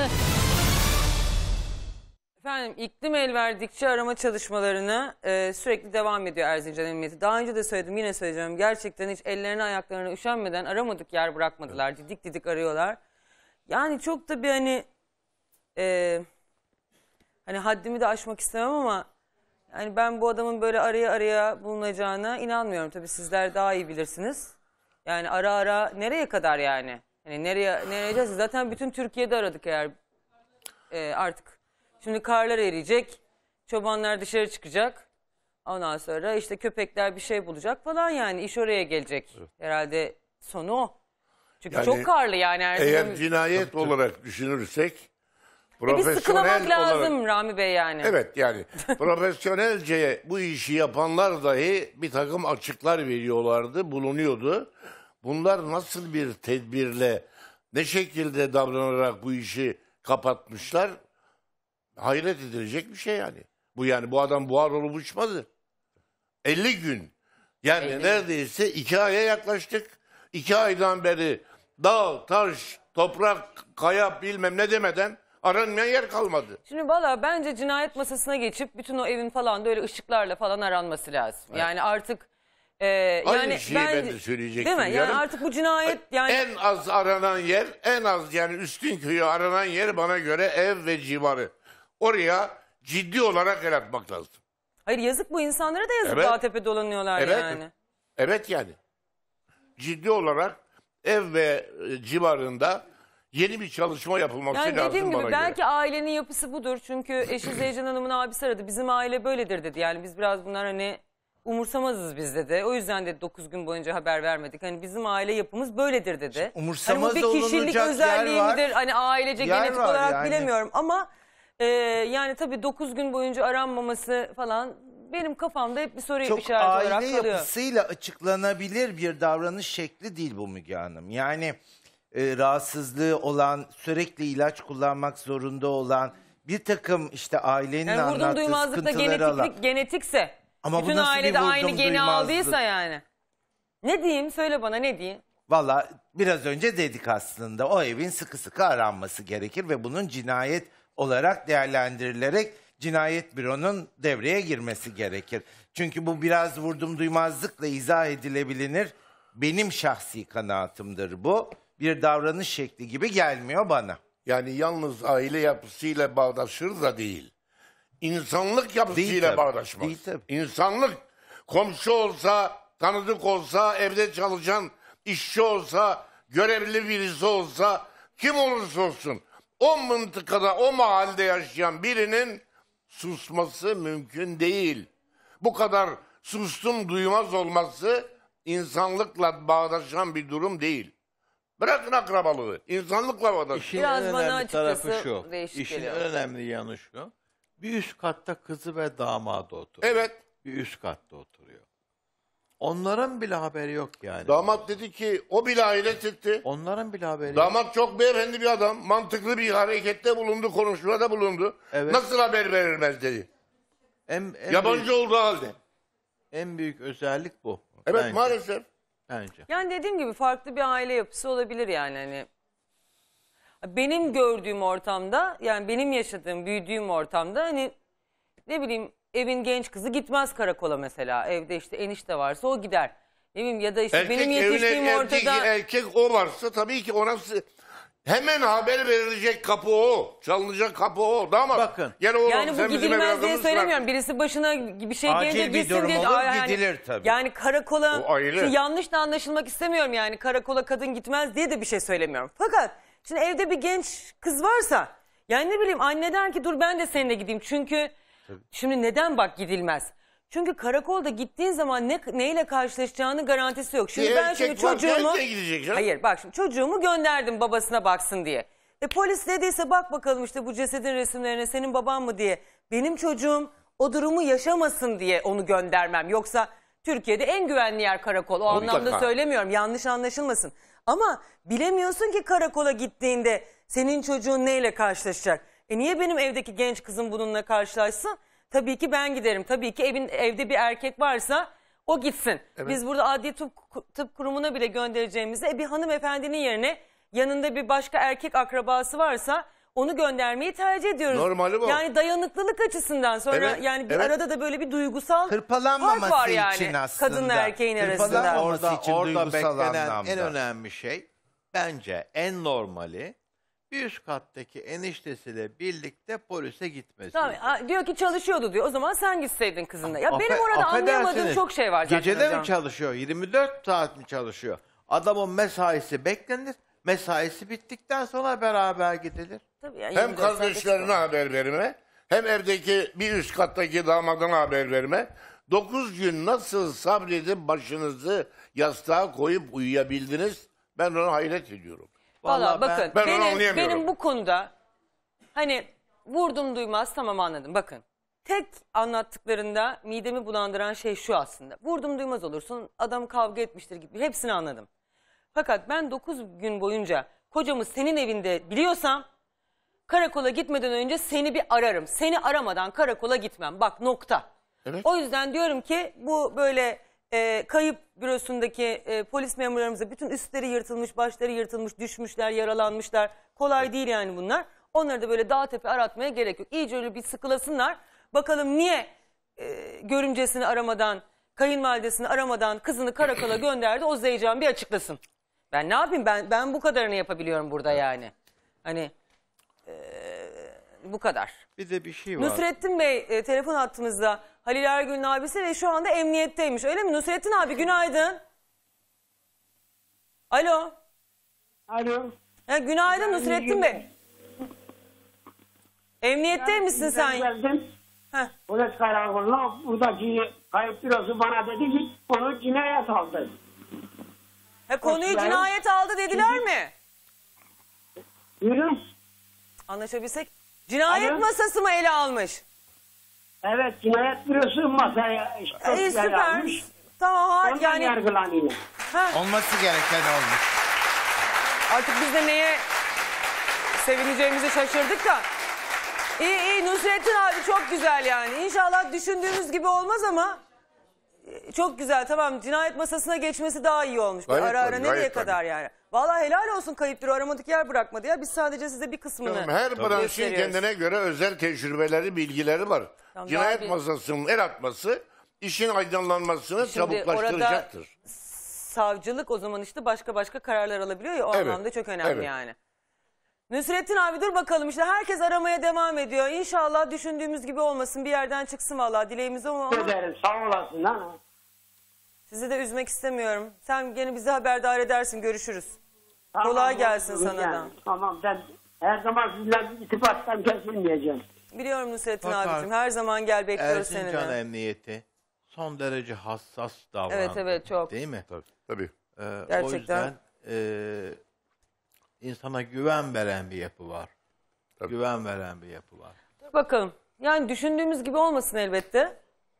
Ama ne bileyim biraz ben niye böyle hani hep siz de dersiniz. Çünkü hukukun temel prensiplerinden biridir yani. Hayatın doğal akışı. Şimdi milyarlarca insan yaşıyor. Elbette o milyarlarca insan içinde farklı kimlik ve kişilikteki insanlar var. Hepimizin kişilik yapısı birbirinden farklı. Ama ve lakin e, bazı olaylar karşısında neredeyse yüzde 99.9 aynı şekilde davranır. Aynı şekilde tepki verir. Ha o yüzde 001 o da ayrıdır o 6 milyar kişinin arasında. Ama şimdi bütün o 000 yani 0.001'ler hepsi aynı evde mi toplandı sorusunun cevabına falan baktığınız zaman matematiksel anlamda da çok e, iç açıcı bir sonuç çıkmıyor. Anlamlı bir sonuç çıkmıyor. O nedenle e, cinayet masası şimdi valla kayıp yaptı görevini. Cinayet masası şöyle sen bir sıkıla. Cinayet masası. Şöyle bir bize de bir haber ver. ne diyeyim artık.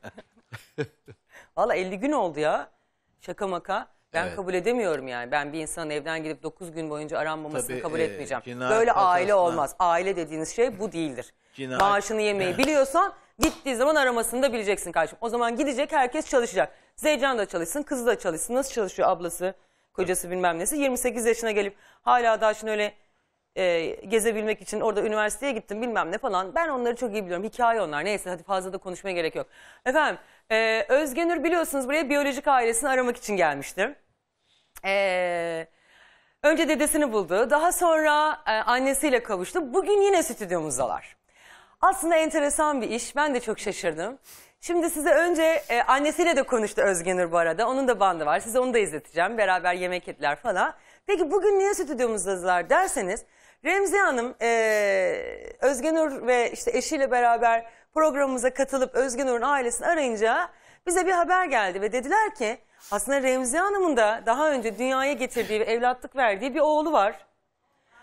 Ee, Remziye Hanım'a sorduk. Başta Remziye Hanım söylemek istemedi. Beni yanlış anlarlar diye düşündü. Dedi ki şimdi kendi öz oğlunu bıraktı da başka bir çocuğu mu evlatlık aldı, yetiştirdi derler. Sonra ailece böyle bir karar verdiler. Özge Nur da çok destek oldu annesine. Gel bulalım abimi diye. Aslında şimdi de Remziye Hanım kendi e, öz oğlunu evlatlık verdiği, vermek zorunda kaldı. Öz oğlunu aramak için stüdyomuzda. Evet. Bu şimdiye kadarki karşılaştığımız çok ilk böyle İlk- bir ilk olayla defa böyle bir karşılaşıyoruz. şeyle. Çok enteresan. Söyleyemedim. Evet. Aramak için gelecektim, gelemedim. Çünkü biz de çok baskı altında ye- yetiştik. 8 yaşından 15 yaşına kadar köyde çalıştık. Bir kuruş para görmedik. Bursa'ya geldik. 16 yaşından 24 yaşına kadar çalıştım. Annem bir simit parasını, çay parası bile vermedi elimize. Ama Allah'tan Allah'tan yine kötü yola düşmedi. Anne biz çok mu güzel yaşıyoruz? Evet. Mecbur kaldım onları öfke üzerine kaçtım. Kaçtım yani kaçmadım değil. Kaçtım erkekle akrabasına götürdü. Gelibolu'ya götürdü. Bir şey olduk. Doğum yapacağıma yakın anladım. Evliymiş ayrılma süresindeymiş. Doğum yaptıktan sonra döndüm evime. Annem bu sefer ben bu çocuğu istemiyorum. Ben Neden? kıyamıyorum. Dövdüler beni baskı yaptılar. Annem. Mecbur kendisi verdi. Nereye de verdiğini söylemedi hiç. Hiç bu kimseye diyemedim. Ha? Kendim biliyorum 33 sene yastığa yattım. Hiç dinlenmeden kalktım. Hiç kimseye anlatamadın Hiç mı bu kimseye anlatamadım. Evlendiğim eşime bile anlatamadım. O dedi ki geçmişimize sünger çekeceğiz, yeni defter açacağız. Ne ben onun geçmişini sordum ne o benim geçmiş. Kimseye anlatamadım kendi kendimle. 33 sene hep yorgun, hep yorgun. Peki bebeği bilmiyor muydu Davut Bey? Duydular, duyulmadı değil. Duydum ben de, duydum da boş kalsam ben geçmişi dedim kurcalamam E dedim doğru yani. yapmışsınız artık. Geçmiş geçmişte Geçmiş ge- kalmış. Ama önümüze hiç de- bakmak gerekiyor dedim her zaman Hiç de yani. konuşmadık. Hiçbir kereden senin de geçmişin nedir demedi. Helal olsun valla. Ee, efendim. Ama işte Dur, ben ben, bunu bütün çok. detaylarını size anlatacağım. Ee, nereye verildi, ne oldu bakalım bir tarihlerden falan bir şeyler çıkartmaya çalışacağız. Dur önce güzel başlayalım. Önce Özgünür biliyorsunuz dedesiyle buluştu. Sonra dedesiyle yemeğe gitti. Sonra annesi aradı dayanamayıp. Annesiyle konuştu. Annesiyle konuşmak da biraz Özgünür'e iyi geldi. Ee, sonrasında da işte Remzi Hanım'la da ilgili böyle bir durum ortaya çıkınca onlar Bursa'ya gitmişlerdi. Remzi Hanım dedi ki şimdi hani geleyim bir gel. Sonradan dedi ki niye bulmayayım kendi oğlumu? Ama kızımla konuşmadan, eşimle konuşmadan cevap veremedim. Doğru doğru sen de haklısın. Anne Gerçekten. önemli olan kan Hani- bağı değil karın kardeşi daha önemli. Onun için te- tedirginlik bir cevap verdim. Dedim ki hayır. ver be, tedirgin. hayır, tabii. hayır dedim sonra görüşelim dedim sonra. Arabada girerken. O benim Gidince elini hiç o akşam kalbine bir şey koysun. diyemedim. Sabaha kadar uyumadım. Nasıl konuşayım ne diyeyim eşime de. Şey yaptım yani çekin hiç geçmişimizi açmadık ki. Annem mutlu tarafından bak ben bir kardeşim olsun istiyordum abim oldu. Ama çekecek çilem varmış çektim. Ama gene de Allah'tan kötü yola düşmedim. Çalıştım. Hiç çalışmadım değil. Ne el işimi bıraktım ne fabrikada. Kır işine de Senin gönderdi gene anne miydi, gittim. üvey anne miydi? Kendi annem. öz- anne. Evet. Öz annesi. Benim babam işi sevmeyen bir adamdı. Elinde radyolu, te, kasetli bir radyosu vardı. Türkü söyleyip gezen bir adam. Yetiştiğim yere de gidip sorsanız öyle. Bursa'daki oturduğumuz yere de gidip sorsanız benim babam öyle. baba Hiç çalışmadı. Biz çalıştık. Onun için bizi evlendirmediler. Ne yapacağız? Sonra sen ne de kaçtın. Ben Sonra de kaçtım, kaçtığın kişinin kaldım. evli olduğunu öğrendin. Evet ondan sonra, geri çocukla döndüm. beraber anneye dönünce de anne ben bu çocuğu istemem, İstemem dedi ve evlatlık verdi. Sene kaç? 87. 1987 yılında dünyaya gelen bir erkek arıyoruz. 88'in başında verdi. 87 88. Tamamdır bir baştan başlayalım hadi bakalım. İnşallah buluruz oğlunu da. İnşallah. 20 yaşındaki Özgenur Şentürk henüz 4 yaşındayken kendisine evlatlık alan ailesini de yanına almış ve biyolojik ailesini aramak için programımıza başvurmuştu. Annesi Gülayşe, babası Ali. Erzurum ili Pazaryolu ilçesi Dikmetaş köyünden. Annemi babamı nasıl biri diye görmek istiyorum. Yani en çok kardeşlerim olsun istiyorum. Onlara sahip çıkarım, onlar bana sahip çıkar. Hiç arkadaş çevrem yok. Onlarla arkadaş olurum. sırdaş olurum. Benim içimde hiçbir nefret falan yok yani. Hani çocuğumuz olmadı. Dediler aldığımız sonra annesini arayacak üzülmeyeceğim. Hayır dedim ben Allah rızası için aldım. Ay çok teşekkür ediyorum size. 20 yaşındaki Özge Nur'a sevindirici haberi Müge Anlı verdi. Hocam anneni buldun. Gözün aydın.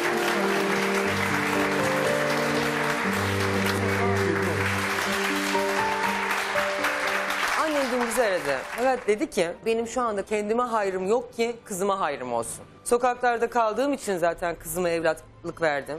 Kızımı çok güzel bir aile yetiştirmiş, izledim, gördüm. Benim iyi bir hayatım yok. Yeniden evlenmedim, yeniden bir çocuk sahibi de olmadım. Benim ona verecek hiçbir şeyim yok. O nedenle gelmek istemedi.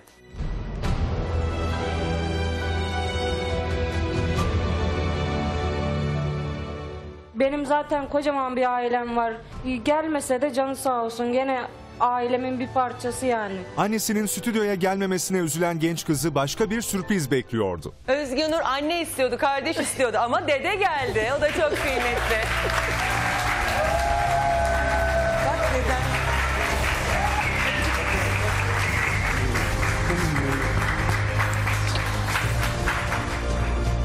Ağlama, ağlama. Sizin bir suçunuz yok. Senin Bu bebekti. Ben bunun ayaklarını saç kurutma makinesiyle ısıtıyordum.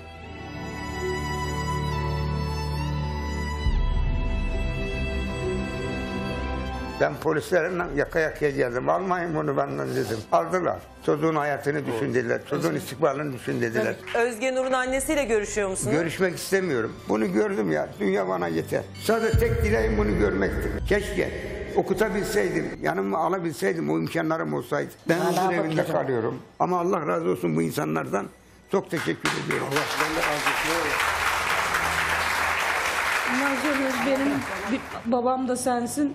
Sağ ol yavrum. Annem babam da bunlar. Senin üzülmeni istemiyorum. Üzülme.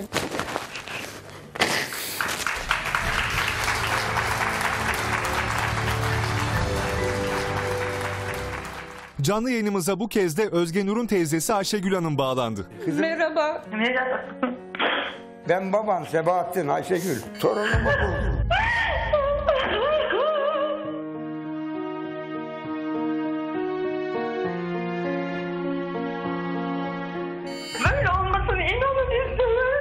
Tamam yavrum, tamam ağlama. Merhaba teyze. Nasılsın? iyi misin? İyiyim canım sen nasılsın? Ben de iyiyim. Daha da iyi olacağım Çok inşallah. iyi bir ailenin içinde. İstersen beni de görmeye gelebilirsin. Biz de bekleriz. Özge Nur ve dedesi yayınımızın ardından da hasret gidermeye devam etti. Sabahattin Bey torununu bir an olsun bırakmadı. Dedemi görünce çok duygulandım, çok mutlu oldum. Bu kadar mutlu edemezdi beni başka bir şey. Bunu gördüm mesela. Dünya benim oldu. Ha gideceğim, göreceğim, edeceğim. Dedeyi Bursa'ya da naklini isteriz. Beraber gidip geliriz. Teyzesinin de sesini duyduk. Kızım mutlu olsun yeter bizim için. Özge Nur dedesiyle hasret giderirken annesi daha fazla dayanamadı ve kızını aradı. Merhaba anne. Merhaba Gülen, ne yapıyorsun? İyiyim, sen nasılsın? İyi olmaya çalışıyorum. Sen iyi ol yeter ki. Sakın üzülme hiçbir şeye bak. Ne bana gönül koy. Ben seni o zaman da çaresizlikten bıraktım. Şu anda da çaresizim. Bana kan lazım oldu. Sana böbrek lazım oldu. Her zaman ben buradayım. Kanımsa kanım, canımsa canım.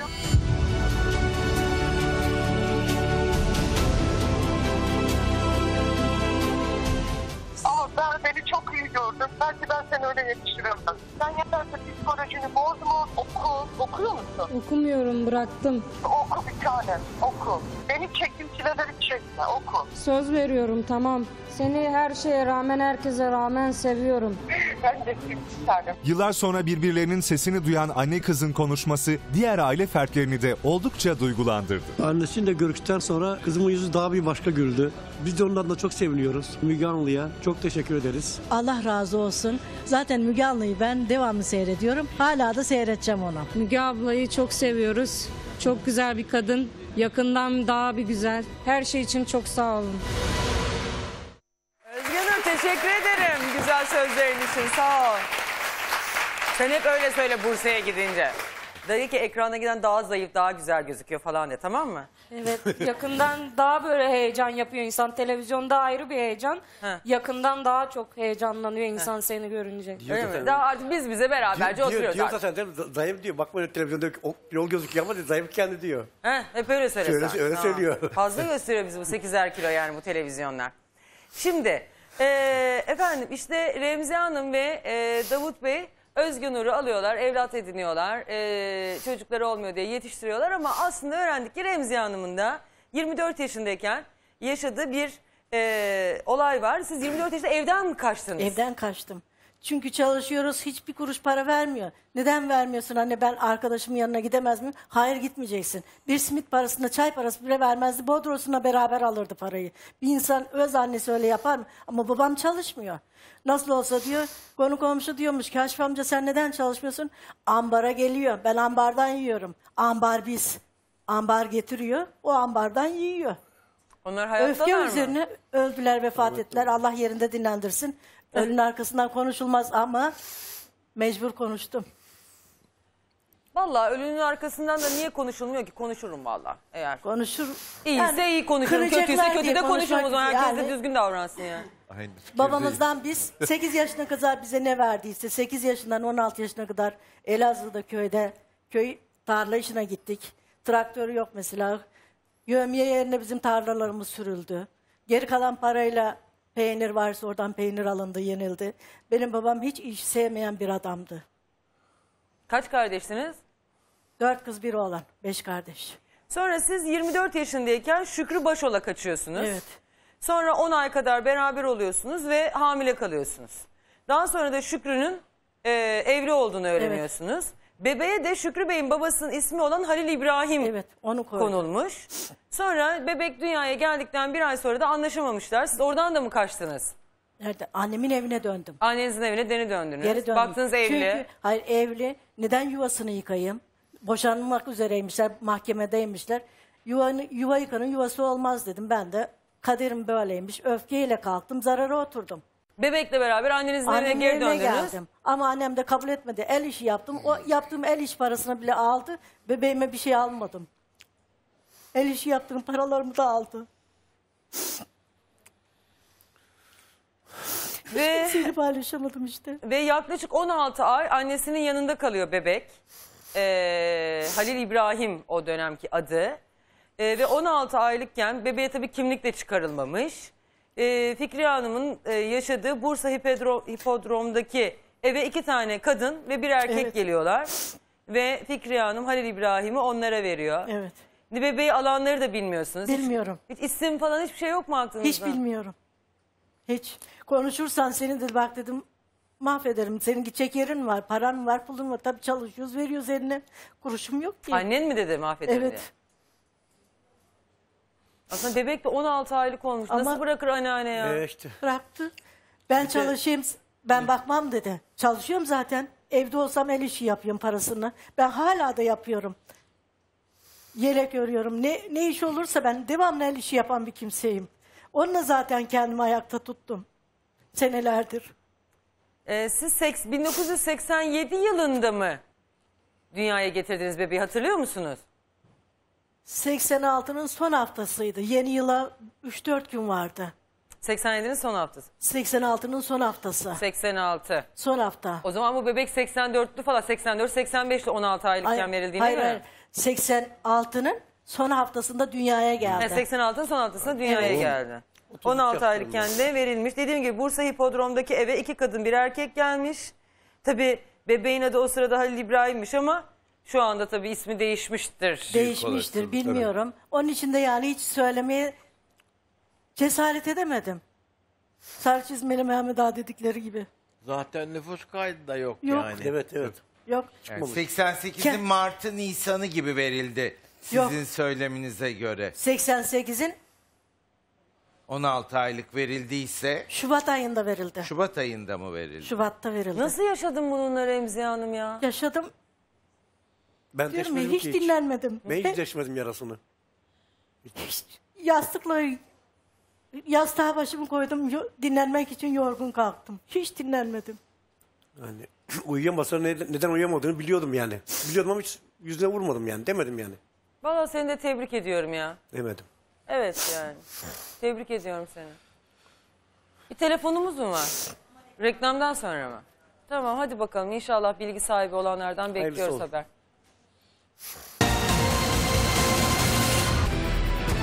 Bizi her zaman arayabilirsiniz. 0212 354 43 25 354 43 26.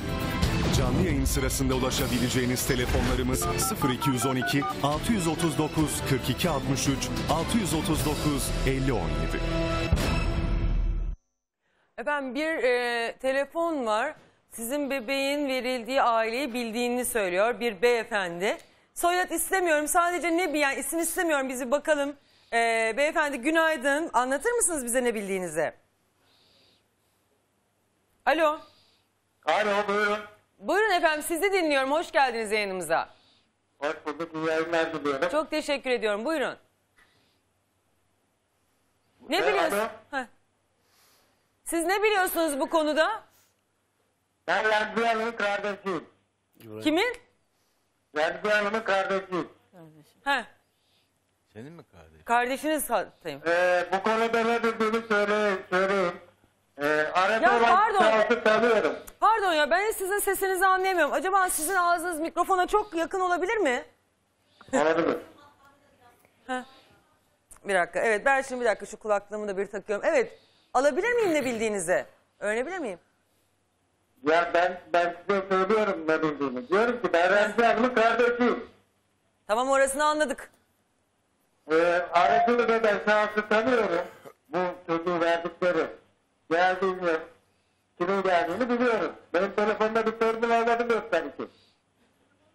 Anladım. E, e, söylemedi mi size bugüne kadar kardeşiniz? Görüşmüyoruz biz. Ha siz görüşmüyorsunuz. Ha, Evet. hadi siz görüş tamam. Anladım.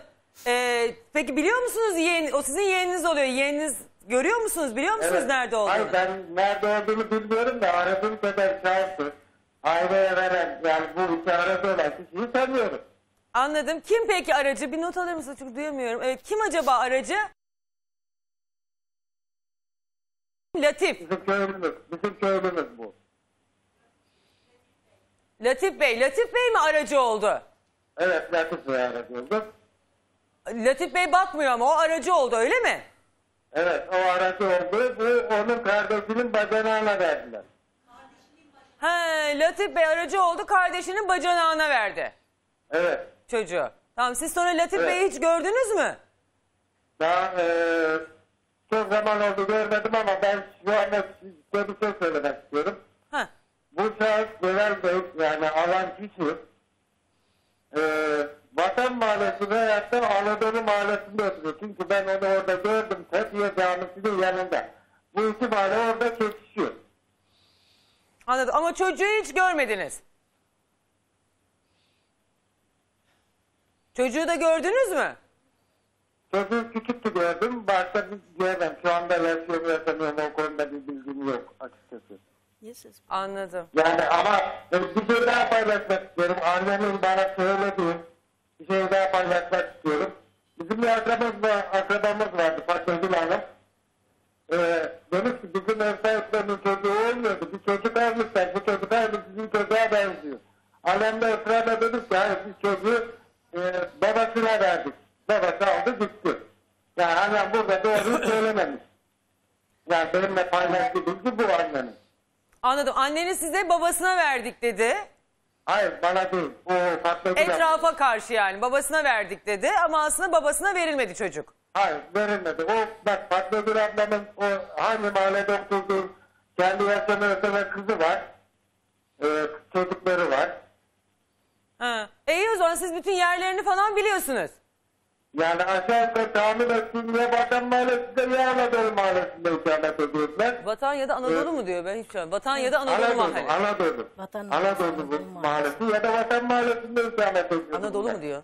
Anadolu ya da Vatan Mahallesi'nde Cami ikamet orada ediyorlar. o sınır yani. Anladım yani va- mahalle orada çekti. tamam Vatan ya da Anadolu Mahallesi'ne verildi çocuk. Evet. Tamam anladım. E siz de bir o zaman kardeşinize de Remziye'ye de bir merhaba deyin. Merhaba. Dedim, e, bak ben size bir şey söyleyeyim. Ne diyor? Bana bu konuda bilgin var mı diye hiç sormadım. Vereceğim bana bu konuda fikrim var mı demedi ablam. Konuşmuyorduk diyor da işte barışmış olursunuz. Bu konuda benim oğlumu kime verdiler? Veyahut da kimlere verdiler bu konuda bir şey biliyor musun demiş olsaydı ben kendisine bunları aktarırdım. Açıklardım zaten. Bana hiç sormadı sorsaydı söylerdim ona demiş. Hepsi bugüne kadar ben bunu e, devlet kızı değildim ya.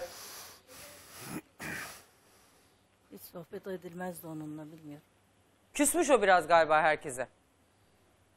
Ondan. Yok o zamanlar konuşuyorduk mesela biz. Ablamlar gelip gidiyordu bize. Ee, sormadı yani bana kardeşim benim bir oğlum vardı.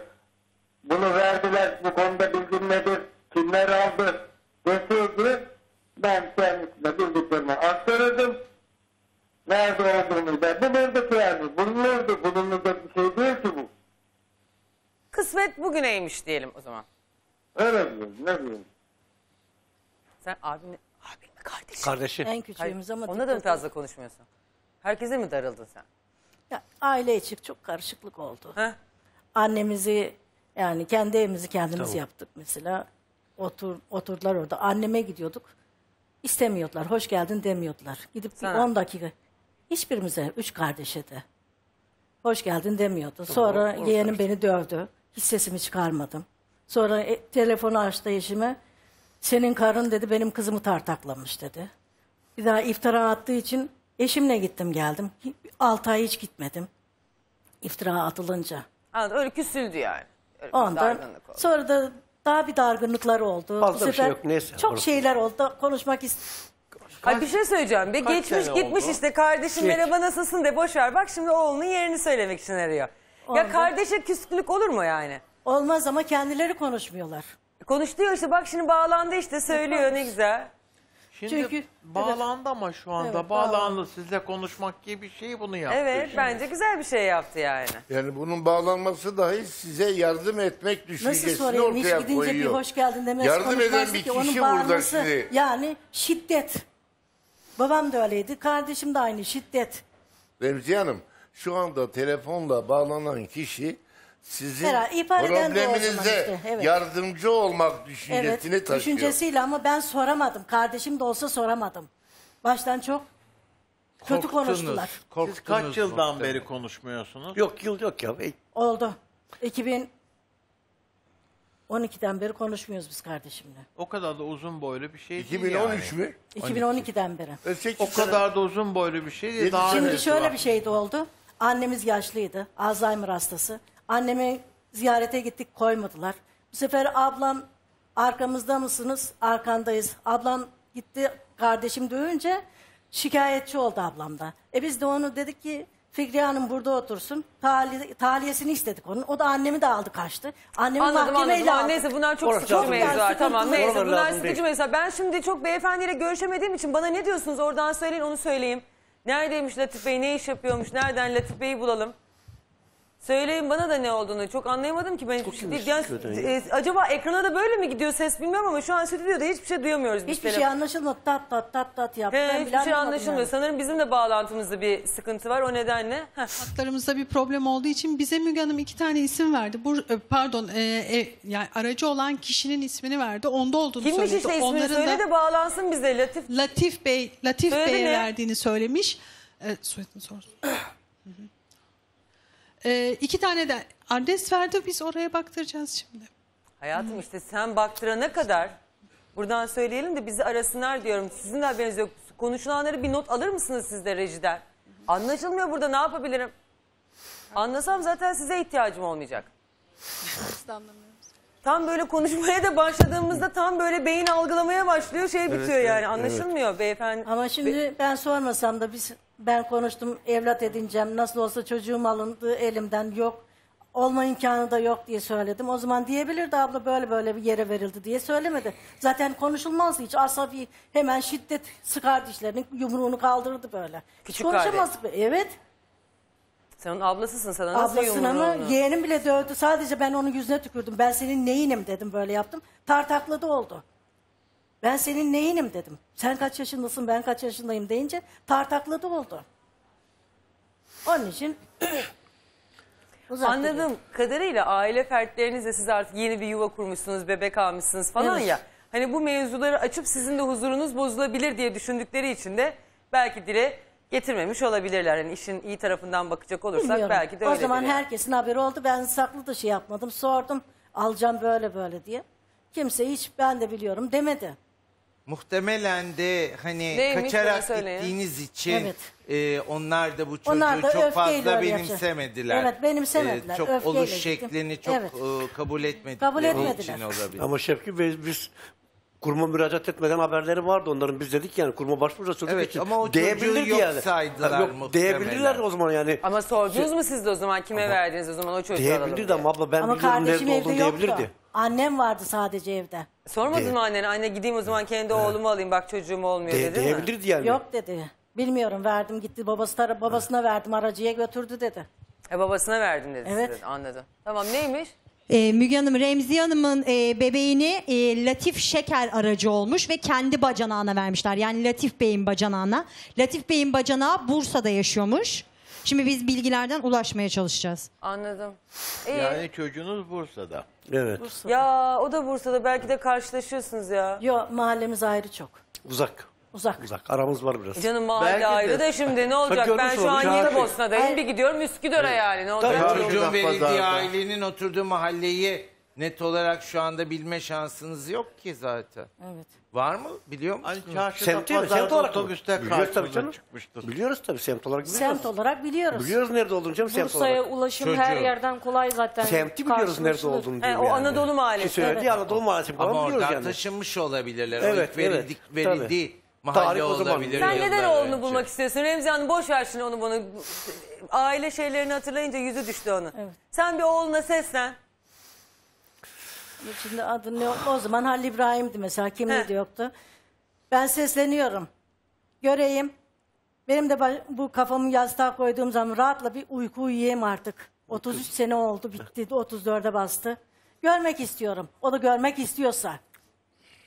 Kızımın da bir abisi olsun de. Kızımın da bir abisi olsun. A, kardeşi istiyordu ya. Al sana abi diyorsun. Al sana abi diyorum ama kısmet olursa. görüştürürlerse.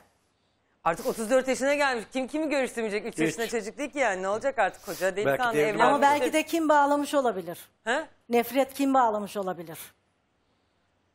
Bir takım ayrıntılı Valla bilgilere Remzi Hanım sahip ben değilse. size şöyle söyleyeyim. Belirli bir yaştan sonra kimse kimseye aslında böyle şeyler için kinlenmemesi gerektiğini öğreniyor. Evet. Şimdi şu halde çok kolay. Yani şimdi şu böyle oturduğumuz yerden ben sana diyebilirim ki niye verdin? Sen bana diyebilirsin ki niye verdin? Şimdi bak Tabii. şu anda biz bunu konuşabiliriz ama şimdi bu toplumda yani nikahsız bir çocuk o çocukla beraber anne evine geri dönüyorsun. Millet ne der? Evlenecek kucağında çocuğuyla işte kime vereceksin de nasıl evlenecek?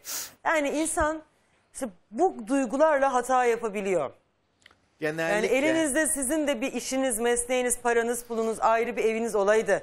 Ne bileyim o çocuğa bir bakıcı tutabilecek olsaydınız, o çocuğu işte bir yuvaya verip çalışıp hayatınızı idame ettirebilecek Öyle bir olsaydınız ön verir miydiniz? olan olsaydı vermezdim. Zaten çalışıyordum.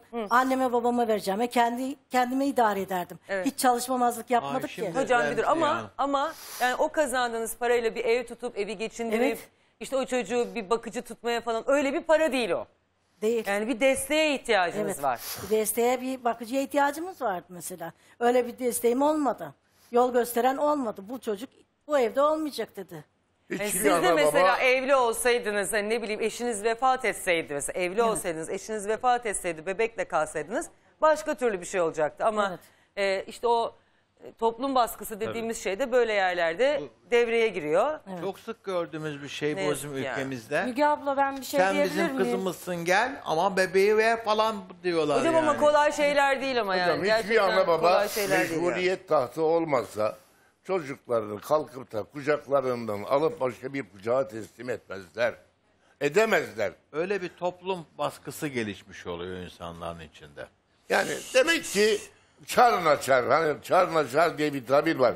yani mecburiyet karşısında. Bütün şey istemeyerek olsa. Bütün şey dediğin gibi Şevki kaçması. Evet. Kaçması yüzünden bu aile bebeği kalktı verdi. Nikahsız bir beraberlikten olan İşte bir evet. çocuk olduğu için Evet. aile bunu çok kabullenmiş İş baştan istememiş. bozuk gitmiş. Evet. Maalesef. Bir daha da toparlamış. O yüzden ben e, tabii Evet, evet. Halil İbrahim derken yanlış anlaşılmasın yani oğlunu arıyor. Halil İbrahim bebekkenki adı yani. Siz ona bakmayacaksınız yani. Latif Bey'in e, aracı olup hipodromda Bursa'daki hipodromdaki evden aldığı erkek çocuğu arıyor. Şu an 33-34 yaşlarında olmalı. Eminim o da biliyordur evlat edinildiğini. Belki o da sizi arıyordur. İnşallah Bilmiyorum. kavuşursunuz. E bir de İnşallah. zaten Bursa'da yaşıyormuşsunuz. Ne olur yani bir bayramda gelip Hiç elinizde öpse olmazsa mutlu babasını olursunuz. merak eder. Çocuk. Ama işte Latif Şeker dediği tamam aynı köydeniz. Onlar Yugoslavya göçmeni. Latif Şeker. Ha tanıyorsun. Onu düşünüyorum, onu düşünüyorum. Ama ben onları küçükken gördüm. Aynı köydeydik. Ah. Aynı anda taşındık Bursa'ya. Onlar da o zaman taşındı, biz de taşındık. Aynı köydeydik. Siz de mi Ama- Yugoslav göçmenisiniz? Hayır. Yok. Anladım. Hadi bakalım inşallah Latif Bey ya da arkadaşları bizi izliyorlardır. Sizi şöyle buluştururuz bir anne. İnşallah. E senin de yüzün gülsün. Bırak bunda üzülecek bir şey yok. Ne yapalım olmuş bitmiş artık. Hayatım olmuş da ölmüşe çare yok. Yok çare yok. Tamam ne yapalım gelmiş işte. İnsan Ben kimin başına ne geleceğinin garantisi var mı hayatta yani? Yok, Ee, yok. Tamam yani kimse bir şey söylemesin. Kızın yoksa yeğeni var. Ee, O yoksa oğlum var benim başıma gelmez diyorsan gelinin var. Valla kime ne Kardeşim olacağının var, hiç kuzenim var. garantisi yok. Kimse kimseye bir şey söylemesin. Herkesin başına her şey gelebiliyor. Bu arada Avusturya'dan Avcı ailesi, Serttaş ailesi, Balcı ailesi ve Tekin ailesi toplanarak bize 15 tane manuel, 2 tane de akülü tekerlekli sandalye gönderdiler. Çok teşekkür ediyorum. Allah ailenizi kabul etsin. Onu da söyleyeyim. Cuma günü o tutuklandı, bu tutuklandı falan derken okuyamadım aslında aramızdalardı ama buradan selam söyleyin. Şimdi iki tane konuğum var. Biri kızını, biri eşini arıyor. Aysel Hanım siz eşinizi aramak için gelmişsiniz. Hoş geldiniz. Sakarya'dan geldi programımıza. 20 Aralık'tan beri eşinizden haber alamıyormuşsunuz. Evet. Ve eşinizin eee, bir hanım arkadaş tarafından zorla alıkonulduğunu iddia ediyorsunuz. Ee, tam zorla değil de e, eşim kandırıldı. E, biz 25 senelik evliyiz. Bu kadın 30 sene önce tanıştığı bir kadındı. Kadın bunu fakir, e, işte köyde oturuyor diye almıyor. 30 Bırakıp. Avusturya'ya evleniyor. Ben 25 senelik evliyim. Çocuklarımla dişimizden tırnağımızdan artırdığımızda biraz mal kazandık. E ve bu kadın geldi benim kazandığım malın üstüne oturdu. Ve bana orada mesajlar var e, gösterdim Kebriye Hanım'a. Diyor ki o benim kocam, o benim kocam. Ben de dedim ki senin nerede nikahın, nerede muamele? O benim kocam. Ailesine gittim, babasına gittim. Kızınız dedim benim yuvamı yıkıyor. Böyle böyle yapıyor, benim evimi aldı dedim. Sen dedi git polise başvur, ben senin arkandayım. İşte senin çocukların hakkını yiyemez dedi. Ve şu an hep beraber bir evde yaşıyorlar. Kim kim? Babası, annesi, e, abisi, eniştesi hepsi bu işin içindeler. Bir çete Şimdi bunlar. bir dakika şimdi sizin Çete kocanız bunlar. şimdi zorla mı alıkonuyor yoksa sizin kocanız ben Ee, aşık oldum oraya kan- mı gittim diyor. Hayır kandırıldı. Kandırıldı. Şu an telefonu da elinden alındı. Bir arkaya versenize Şu fotoğrafını an, e, beyefendinin. e, Sizin kocanızın yani nasıl bir zekasında falan bir mental bir problemi falan var mı? e, ş- bundan sonra var gibi. Çünkü eskiden böyle bir insan değildi. Çocuklarına çok düşkün bir babaydı. Beraber ben Kebriye Hanım'a dedim biz bir elmayı keser yarısını o yarısını ben yerdik. Biz çok iyiydik. Hiç daha tartışmadık, kavga etmedik. Hayatım çok iyi sen nasıl gitti başka kadına iyi? Kadın eniştesi burada oturan e, baldızı var. Eskiden istemiş de almamış ya. Şimdi ben sana geri döndüm aşkım. Ben sana geri döndüm hayatım. İşte yani. Ha, bunların eski aşkı mı depreşmiş? Aynen. Senin kazandığın malı ben yiyeceğim diyor bana. Bak bir dakika. Peki siz de Sen- pardon bir saniye siz de şimdi kocanızı geri mi istiyorsunuz? Hayır kocamı istemiyorum. Ne ben istiyorsunuz? çocuklarımın hakkını istiyorum. Ben iki tane çocuk okutuyorum. Bak ben üç gün önce biliyorsunuz üniversite harç paraları yatırılıyor. Ee, bize engelli telefonu. Kadın açıyor çünkü telefonu. Çocuğum dedim harç parası yatacak. Üniversitesi yanacak. E, ben diyor size para verdim. O öyle demiş adama. Bize para vermiyor. Biz fındıkçıyız. Fındığı tüccara teslim ederiz. Oradan ihtiyacımız kadar alırız. Oradakini de tüketmişler, bitirmişler. Yok. Ben komşudan para aldım. Çocuğumun harç parasını yatırdım. Evimiz var. Evimizi o kadının üstüne geçirdi.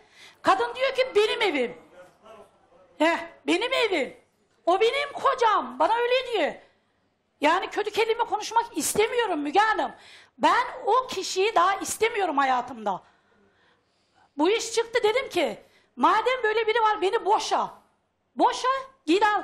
Hayır sen evinde otur. Evler kocanın üzerine miydi? Ee, biri onun üzerine biri benim üzerimeydi. Kendi üzerine olanı Hanıma kadının verdi. üzerine mi sattı? Beni dedim boşa git bu kadını al madem. Hayır sen boşanmayacaksın evde oturacaksın. Çocukların başında duracaksın. Bu kadın senin eliğin kiri. O gelip gidecek. Kim diyor Onunla bunu? ben biraz hayatımı yaşayayım. Benim eşim. Benim eşim. Ben bununla hayatımı yaşayayım. Yani böyle hep bana böyle baskı baskı baskı. Evde Şimdi psikolojik burada bir, tür, baskı. bir sürü mesajlar var da ben bu mesajları kim kime yazdı hiç anlamadım. Bak Senin orada- kocanı bana bedava versen tuvaletime fırça diye bile almam diyen kim? Evet evet e, o kadar. O mu diyor? Şimdi biz e, tartıştık Lafa mı? bak be. Kocanı bana bedava versen tuvaletime fırça diye almam. Ona Şimdi benim liseye giden Hep yeni kızım bir var. şey öğreniyor. Bir de Yani- benim söylediklerimi TT yapıyorsunuz falan. Bak millet neler söylüyor Bak yani. şimdi benim e, lise gid- sona giden kızım var. Kızımla evde konuşuyor. Bak babası ağlıyor kızına. Kızım ben hayatımı yaşayayım biraz bu kadınla. Bu kadın gidecek. Baba diyor benim psikolojimi bozdum. Ben okuyamıyorum. Çocuk okula gidiyor. Müdürden izin alıyor. Teneffüslerde beni arıyor. Anne iyi misin? Anne bir şey oldu mu? Anne iyi misin? Bu çocuk üniversite sınavına girecek. Müge Hanım bu çocuktan ne bekliyorum? Ben iki tane daha çocuk okutuyorum. 23 yaşında bir kız evlendirdim. Tek başıma. Üniversite okuttum. Şimdi Peki bir şey ikinciyi söyleyeceğim. okutuyorum. Bu diğerleri de sizin eşinizle o kadın arasındaki mesajlar. Orada diyor ya bak e, şey Çocuklarım diyor. bana çok düşkün. Onları nasıl babasız bırakırım? Haklısın ama benim de çocuğum var biliyorsun ama ben senin için her şeyi göze aldım. Evet. O zaman karımı ne yapayım? Çocuklarımı bütün huzurum bozulur. Bozuldu diye. Gönderdiğin hediyeleri gördü intihar etmeye kalktı. Siz mi diyorsunuz? Evet. Ondan sonra o da demiş ki peki aşkım neden o zaman bana yazdın yalvardın? Ben sana başta olmaz dedim. Sen sen engelledin yine ben engelle seni engelledim yine buldun beni. Ondan sonra tamam bırakma eşini büyük bir ev tut beraber otururuz. Evet. Yok artık daha neler yani artık iyice saçmalıyorsunuz ha. Vallahi bu Hakikaten teklif- yani. Bu teklif fena değil ya. Gerçekten Müge Hanım birebir yani yüz yüze konuştuğumuzda hani Karından, karımdan gizli nasıl seninle olayım? Benim gücüm yetmez, karım kabul etmez. Karından gizli niye olsun o da bizimle oturur. Benim için sorun değil. Evet. Nasıl sen kabul edersin böyle bir şeyi? Karım ölür. Neden etmeyeyim ki? Yeter ki seninle olayım. Karın da hiçbir şeyi kabul etmiyor. evet. Baskıyla ben kabul edecekmişim. Arkadaşlar ya bunlar kaç yaşında bunlar? Eşim 51 yaşında. O kadın kaç yaşında? O da 49-50 yaşlarında. Ay yok artık ya yapmayın yani Ama böyle kadının şeyler. resmini de ver Müge Hanım lütfen biz zaten Kadının resmini karakoldayız. Ama karakoldayız biz. Ben bak e, Karın bir- ikna olmazsa ne yapacağız? O zaman ben de kendimi öldüreyim. Bunu mu istiyorsun benden? Evet. Karım da aynı şeyi söylüyor. O zaman ben öleyim. O zaman beraber ölelim. Ben varım seninle ölmeye. Sen var mısın? Evet. Senelerce kahrımı çeken karım çocuklarım ne olacak? Ben ne olacağım aşkım? Sonra gene kocası diyor ki çocuklarım bana çok düşkün. Onları nasıl babasız bırakırım? Evet. Gerçekten Ondan de çocuklarına sonra- düşkün bir babaydı. Eşin için inan ki çok üzgünüm ama ben senden vazgeçebiliyorum. Geçemiyorum. Ne yapabilirim? Karım bazı şeyleri öğrendi, delirdi. Ne yapacağım bilmiyorum. Hiç huzurlu değilim. Söyle aşkım ne yapayım? Ondan sonra. Ya senin karın da hiçbir şey kabul etmiyor diyor. evet doğru söylüyor. Karımı bırakacağım ama şu sıralar sinirleri çok bozuk. Ne yapacağım bilmiyorum. Hı hı. 51 yaşında bu adam. Evet. Müge Hanım. Bu... Dur bir dakika dur dur. Yakında oradayım. Herkes yaptığının bedelini ödeyecek. Başta ikiniz olmak üzere oğlum ikinizi de silecek. Umarım memnun kalırsın. Bir de senin için oğlumu ben yuvaya verdim diyor. Başkasına verdim E- diyor. eşim değil. Kadının e, Evet. 15 yaşında oğlu var. Çocuğuyla Avusturya'da yaşıyor bu kadın. He. Çocuğuyla problem yaratıyor. Çocuğu babasına verebilmek için çocuğunu babasına verdi. Türkiye'ye geldi. E, sizi dağıtmak için, sizin yuvanızı yıkmak için her şeyi yapıyor bu kadın. Nasıl yani? Yani e, kadın e, tehlikeli. Kadının kollarında bıçak izleri var, bıçak kesikleri var. Kadın e, iki, üç defa evlenmiş herhalde. E, evlendi eşinin bir tanesiyle kavga Ha bir de ederken şey balkondan demiş aşağı ben düşmüş. demiş 9 haftalık hamileyim demiş size. Evet. Cinsiyetini de merak ediyorsan Hikmet'e sor rüyasında görmüş. Evet. Ha bir de siz de yazışıyorsunuz. Siz niye muhatap oluyorsunuz bu kadınla? Muhatap olmuyorum Müge Hanım. Telefonu engelledim. Başka birinin telefonundan mesaj atıyor. O kadar terbiyesiz ki Kızlarımı mesajlar. tehdit ediyor, beni tehdit ediyor. Ya Müge Hanım birebir söylediklerini size söylesem var ya. Yani gerçekten psikolojiniz bozulur. Bu poğaça tarifini kim veriyor? Ne? Poğaça tarifini kim verdi? Poğaça, tarifi var burada. Nasıl? O başkadır belki bilmiyorum ki onu. Yok bence bu da sizinle Yanlış mı alakalı acaba? da. Yok. Allah Allah. O başkadır herhalde. Ama gerçekten Müge Hanım ben 6-7 aydır bak elinden kurtardım bir sefer. Telefonunu kızına dedi ki kızım dedi ben dedi yapamıyorum engelle telefonumdan. Engelleyince bu sefer çocuklarla bize saldırdı. Babasına gittim söyledim babası dedi ki ben dedi hani kızım böyle bir şey yapamaz. O ev onun değil dedi. Geri verecek polise git. Şimdi ben siz ne yapacağım dedi. istiyorsunuz? Şimdi siz ne istiyorsunuz? Ben e, aile birliğini bozduğu için eşimden boşanmadan nafakamı istiyorum. Çocuklarının bakımını yapacak. Çocuklarının malını verecek. Verdikten sonra tepesinin üstüne gitsin. Gitsin tepesinin üstüne gitsin Müge Hanım. Ben 25 sene arayın köyümü sorun. Ben ne gezmeye gittim ne tatilimi yaptım. Neden? Çocuklarıma bir şey bırakabilmek için. Bak arayın okul müdürlerini toplantı olacak ben gideceğim. Üniversite sınavı adı pazarında oluyor. Biz Karasu'nun köyünde oturuyoruz. Ben akşamdan yer ayarlıyorum çocuğuma. Sabah Hayatım, sınava hayatım getiriyorum. bak şimdi anlıyorum ben seni şimdi sabaha kadar dinlerim de şimdi adam kendisi gittiyse ben ne yapayım yani hani. Ama senin şu an şimdi bak- akli dengesi yerinde değil. He. Şu an akli dengesi. Ama Bak, burada da pek sana bir şey söyleyeceğim. Zorla tutuluyormuş gibi bir halleri Ama bak yok. şimdi abisi dedim ki bu kadın şimdi bütün malı alacak ya. Malı dedim çocukların üstüne yap bu kadınla git. Hani biraz da şey davranayım. Psikolojik olarak baskı yapmayayım. Abisine soruyor. Abisi dedi ki veremezsin. Kız kız mısın diye bugün yarın diye damatlar hayırsız çıkar. Seni bakmaz diyor abisi. Abisinin arasına bakıp malı vermedi. Ama bu kadına tek kelimeyle evi teslim etti. Abisini arıyorum. Satışını yapmış mı? Yapmış. Üniversiteye gidiyor. Harç yatacak. Beni ne kadar ilgilendirmez zamandır dedi. devam ediyor bu iş? Bu 6-7 aydır var. Hanımefendi bu anlattıklarınızla eşinize hiçbir kuvvet zor koyamaz illa evine gireceksin diye. Eve gelmesin. Hayır yani Heh. size dönmesi için. İstemiyorum. Ancak yani çocuklar baba evlat olarak manevi baskı yaparlar. Siz diliniz döndüğü kadar ikna etmeye çalışırsınız. Yoksa akrabaları bunu ikna etti. Akrabaları bunu benden soğuttu diye bir iddia hukuken de ele alınmaz. Ben hukuken Evet. onu istemiyorum. Onu istemiyorum ama benim 25 yıllık emeğime benim çocuklarım bak iki tane çocuk okutuyorum Onu, ben. o konuda talep etme hakkın var. İşte ben onu istiyorum. Tamam. Kadınlar Manevi peki, tazminat. markette Ama karşılaştım. bunu istemek için de boşanma davasını açman lazım. Bak ama onu da söyleyeyim bak Rahmi Bey. Evet. Dedim ki bak ben bir kadınım. Ben böyle aşağılanmaya gelemem. Boşa beni dedim. Beni boşa git bu kadınla yaşa. Sen de boşayabilirsin. Bir dakika dedi ki sen boşanma sen çocukların başında dur. Sen o elin kiri o gelip geçecek. Şimdi ben boşamıyorum. O kadın ikinci bir kadın değil. Hani o kelimeyi konuşmak istemiyorum. Öyle yaşayacak o kadın. Boşanma davası açmadığın Boşanma takdirde davası Olmaz ama talep şimdi öyle edebileceğin bir tek nafaka var. Tedbir nafakası O mı tedbir istesin? nafakası koyuyorsun Rahmi Bey. Malı satamazsın. Ben iki tane çocuk Ya okutuyorum. o ben zaman tedbir miyim? nafakası için bak bir şey söyleyeceğim. Yani Şimdi bak o evlerin Aysel'cim bak. üzerine tedbir koyarsın. Aysel'cim onun bak. adına olan Şimdi, ne varsa tedbir Ee, koyarsın. ne nafaka yazık ki davası hayatta açarsın. hem o hem bu hem şu diye bir şey yok. Tercih yapmak zorundasın. Tamam. Anlatabiliyor muyum? Tamam. Şimdi yani hem boşanmayayım hem nafaka alayım hem o hem bu yok. Sen şimdi gidersin çocuklar için tedbir nafakası istersin. Oturduğunuz ev kimin? Oturduğumuz şu anki durduğumuz ev bizim köyde oturuyorum ben zaten. Köydeki eve getiriyor kadını.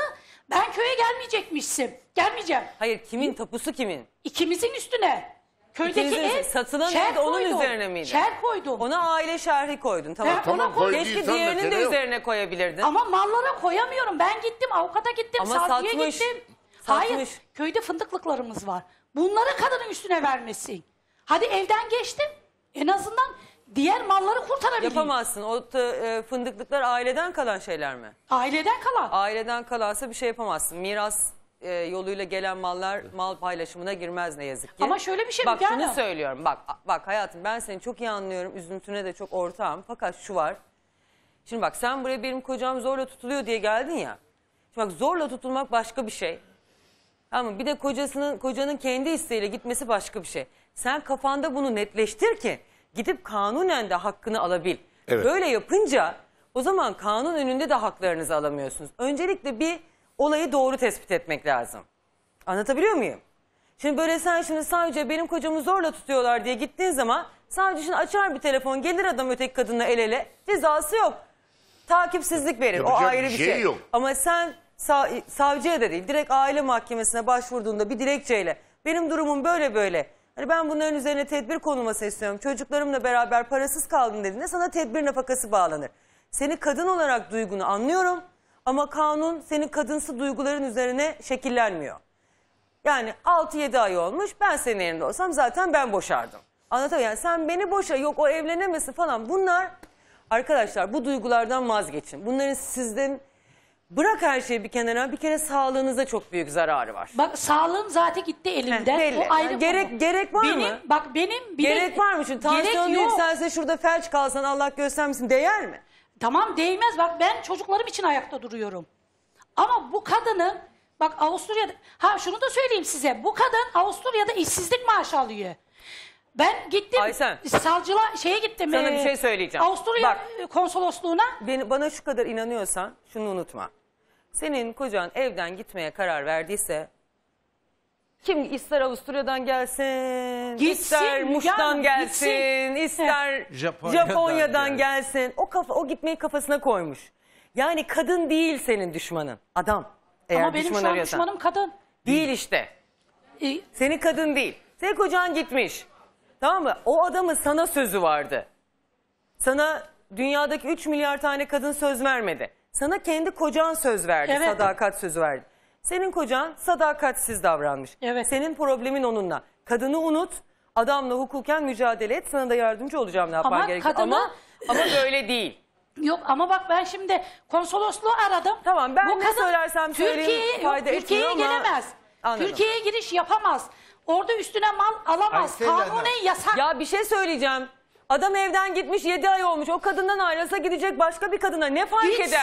gitsin. Tamam işte Ama ben de benim- sana diyorum ki senin hedefin şu anda o adam. Öteki kadın değil. Bırak öteki kadını. Gitsin kadınla ama benim çocuklarımın hakkını versin. Tamam o yüzden Ondan adamla sonra- mücadele etmen gerekiyor diyorum. Bu konuda adamla savaşman gerekiyor. Hukuki bir savaştan Ama bahsediyorum adamı tabii göremiyorum ki. ki. nasıl savaşayım? Adamı bir yere gelip konuşma bile konuşamıyoruz. Kadın telefonlarını aldı. Kendi face'ini kapattı. Kendi adını açtı kadın face'ini. Kadınla yapamaz hayatımın. Adam istemese kadın böyle bir şey Ya yapabilir benim mi? eşim WhatsApp kullanmasını bile bilmiyor. Yani- Merak etme o biliyordur da senin haberin yoktur böyle Avusturya'dan kadınla Yok nereden gerçekten konuşacak? bilmiyor. İnanmayın kocalarınızın bu kadar sözüne ya. Müge Hanım yani telefondan engellemesini bilmiyor. Çocuğa yaptırıyor. Kızım ben yapamıyorum sen yap diye. E tamam şimdi de işte ama birini engelletiyordur işte yani o şekilde. İşte. Hikmet Bey'in birlikte olduğu hanımefendinin eniştesi telefon Evet. hattımızdaymış. Efendim günaydın. Günaydın. Efendim zorla mı tutuluyor e, Aysel Hanım'ın eşi? Hayır hiç alakası yok. O Aysel Hanım'ı benim o, uzaktan akrabalığım var. Benim telefonumu bir yerden almış, bana ulaşmış ve ben ondan duydum bunların bu durumu, bu şeyleri yaptıklarını. Yalan söylüyor. Anladım. Yalan söylüyor. O zaman biliyor musunuz zorla mı değil mi diye? Nereden biliyorsunuz? Hayır. Hayır zorla değil. Adam ondan kaçtığından o benim baldıza sığınmış. Tabii şey kayınpeder, kayınpederin dedi ya sen git mahkemeye ben arkandayım. Ne oldu şimdi evinde bakıyor ya. Böyle adilik oluyor mu? Güzel He? kelimelerle konuşun.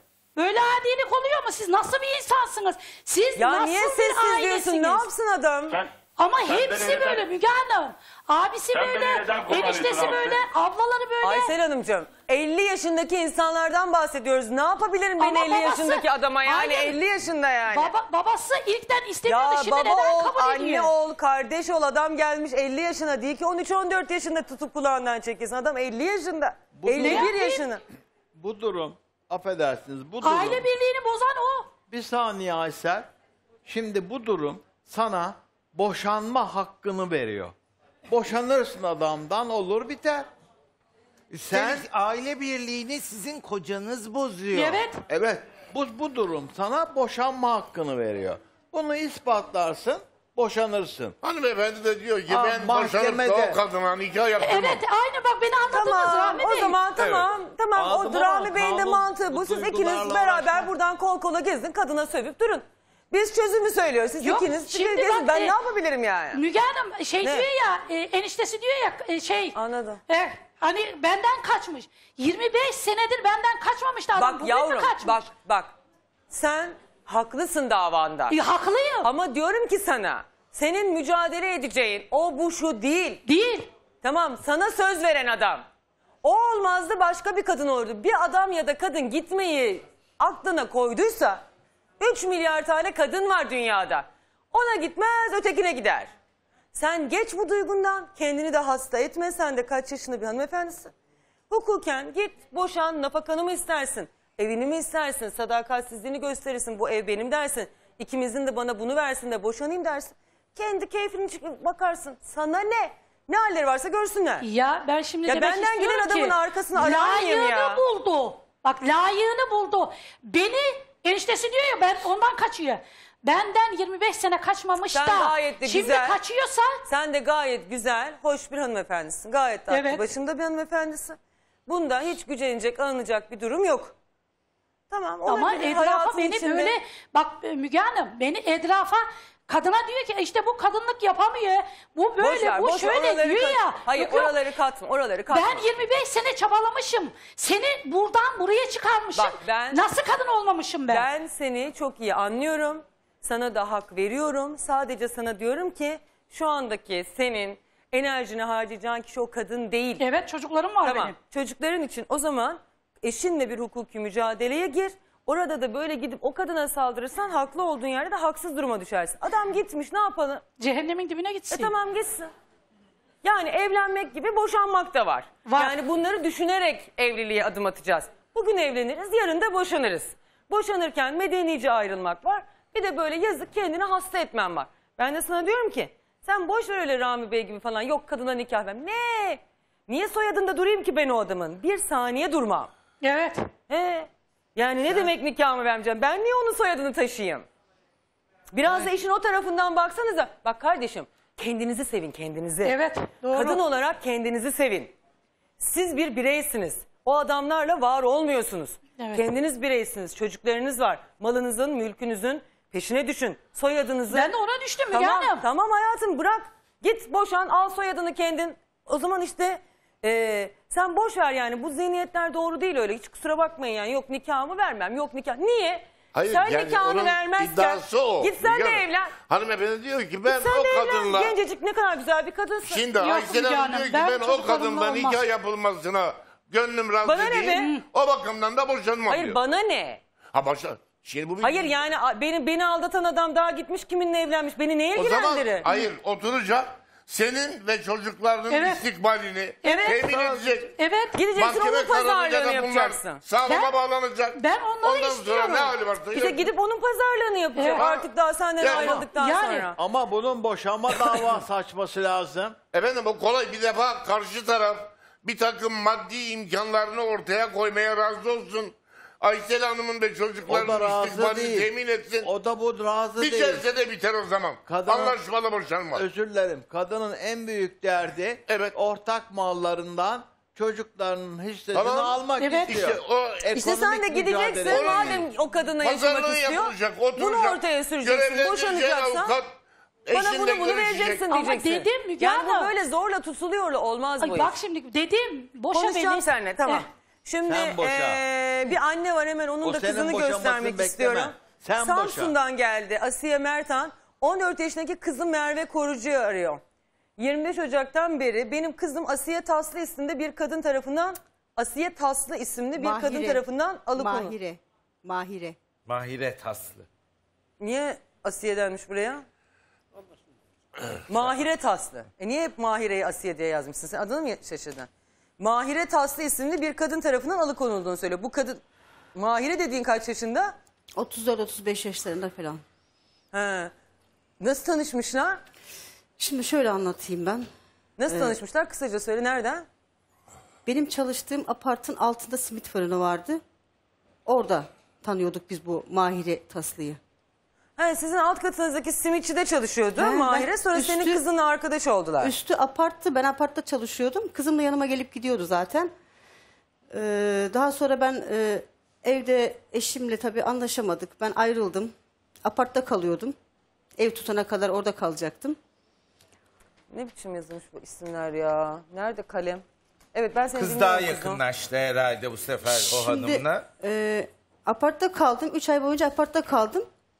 Yani ilk başlarda bana demişti Mahire hani Şimdi beraber... bu, bu kadın sen tanıdığında kalacak bir evi yokmuş diye üzülmüşsün. Misafir etmeye karar vermişsin. Şöyle anlatayım Sonra mı o ben? da sana aşkım süre bitmeden önce söyleyeyim. Sonra demiş ki ben de evin masraflarına ortak olurum demiş. Ondan sonra eee, sonra evden ayrıldığı gün siz biraz tartışmışsınız para mevzusunda. Sonra evden ayrıldığı gün senin kızın da evden ben biriyle buluşacağım diye çıkmış. Gidiş o gidiş. Öyle mi? Yani aslında beraber ev tutmayı Mahire teklif etti bana. Ben Ya apartta çok kalıyordum önemli değil ya. oraları. Çok önemli değil. Tamam siz yani beraber kalırken siz ayrıldınız. Mahire evden gitti. Senin kızın da onunla mı gitti? Emin misin Evet. onunla olduğunu? Evet. Eminim. E senin kızının ne işi var simitçideki kadınla? Öyle mi? ha. Kimlikte kadın, cinsiyet kadın yazıyor. Ama erkek gibi giyiniyor, erkek gibi takılıyor. Zaten ilk başta kabul, et, Ha. kabul etmemiştim ben ev tutmayı onunla beraber. Erkek zannediyordum ben onu. Kabul etmemiştim. Daha sonra apartta daire kiralamak istedi bir gün. Biz ben de o Anladım. TC'sini falan girdiğim zaman kimlikte onun cinsiyetin kadın olduğunu gördüm. Ha, Daha sonradan da yine kendisi dedi hani işte e, abla dedi beraber ev tutalım. Hani senin durumun belli. Benim kalacak kimsem yok, yerim yok. Bir tane mi çocuğun var? Yok. Benim altı tane çocuğum var. Aynı evde mi yaşadınız? Hayır. Ee, kızlarım evli zaten. Üç tane kızım evli. Yanımda bir oğlum, bir kızım var. Diğer oğlum askerdeydi. İzne geldi hatta şu an Samsun'da. Hayırlı tezkereleri olsun. Çok küçük bir çocuk ya. Peki sen o aradın mı o Mahire'yi? Aradım. Gittiklerin ertesi gün sadece WhatsApp'a girdiler. Ondan sonra daha hiç telefonları açılmadı. WhatsApp'a girmediler. Ne Yalnız, dediler? Efendim? Ne dedi bir şey söylediler mi? Ya ben Mahire'ye yazdım. Dedim hani e, Samsun dedim ayağa kaldırdım. Kızım dedim bırak. Kızımı getir. Yani dedim kaçamazsın. Nereye kadar kaçacaksın dedim. Kızımı bırak. Benim kızım dedim daha 14 yaşında. Ne diyor? Senin kızın diyor senin çenen yüzünden kaçtı. Yani benim kızımla aramda Mahire Taslı ile tanışıncaya kadar hiçbir sıkıntımız yoktu bizim. Yani o nasıl girdiyse kızımın aklına bilmiyorum. O, onun aklını belini o kadar yıkamış ki kızım bizimle şey kopardı. Arkadaşlarıyla bile bağını koparmış. Yani Okula arkadaş gitmiyor mu kızın? gidiyordu. O de, diyorum ya onunla tanıştıktan sonra okulu da bıraktı. Arkadaşları bile diyorlar yani Merve e, son iki aydır çok değişmişti. Hay Allah. Hiç bizimle bile doğru düzgün konuşmuyordu. Kaça gidiyordu? Lise 1'e gidiyordu. Bu Mahire Taslı'nın abisi biliyor bunların nerede olduğunu. Çünkü mesajlar var elimde. Şöyle söyleyeyim. Mahire Taslı. Şimdi senin kimlikte kadın gözükmen, erkek, erkek gözükmen falan hiç fark etmez. Çocuk 14 yaşında. Bir erkeğin kızı alıkoyması kanunumuzda nedenli suçsa yine senin yaşındaki bir kadının yine bu kız çocuğunu yanında alıkoyması aynı derecede suç. Hatta daha artırıcı sebepler bile olabilir. Sen iyisi mi 14 yaşındaki çocuğu şimdi hemen bugün e, ver beni de uğraştırma. Yani olacak şey var, olmayacak şey var arkadaşlar. Rica ederiz. Burada da vur- annesi gelmiş kızını aramaya. Zaten çocuğun yaşı küçük. Çocuğa hiç diyecek bir şeyim yok. Sen biraz aklını başına al. Çocuğu hemen en yakın karakola teslim et. Sana o kadar söylüyorum. Daha fazla da bizi de konuşturma. Aileler de devreye girmesin. Daha fazla da dallanıp budaklanmasın. Sen çocuğu bugün teslim et. Ee, bana zaten haberi gelir. Ee, abuk subuk davranmayın. Benim de cinlerimi tepeme çıkartıyorlar. Verelim ara. Ee, buluruz biz senin kızını. Öyle ya da böyle. Bu çocuğu ona bırakacak halimiz yok. İnşallah bulunacak. Reklamlardan sonra veda edeceğiz. Yarın görüşebilmek dileğiyle. Hoşçakalın.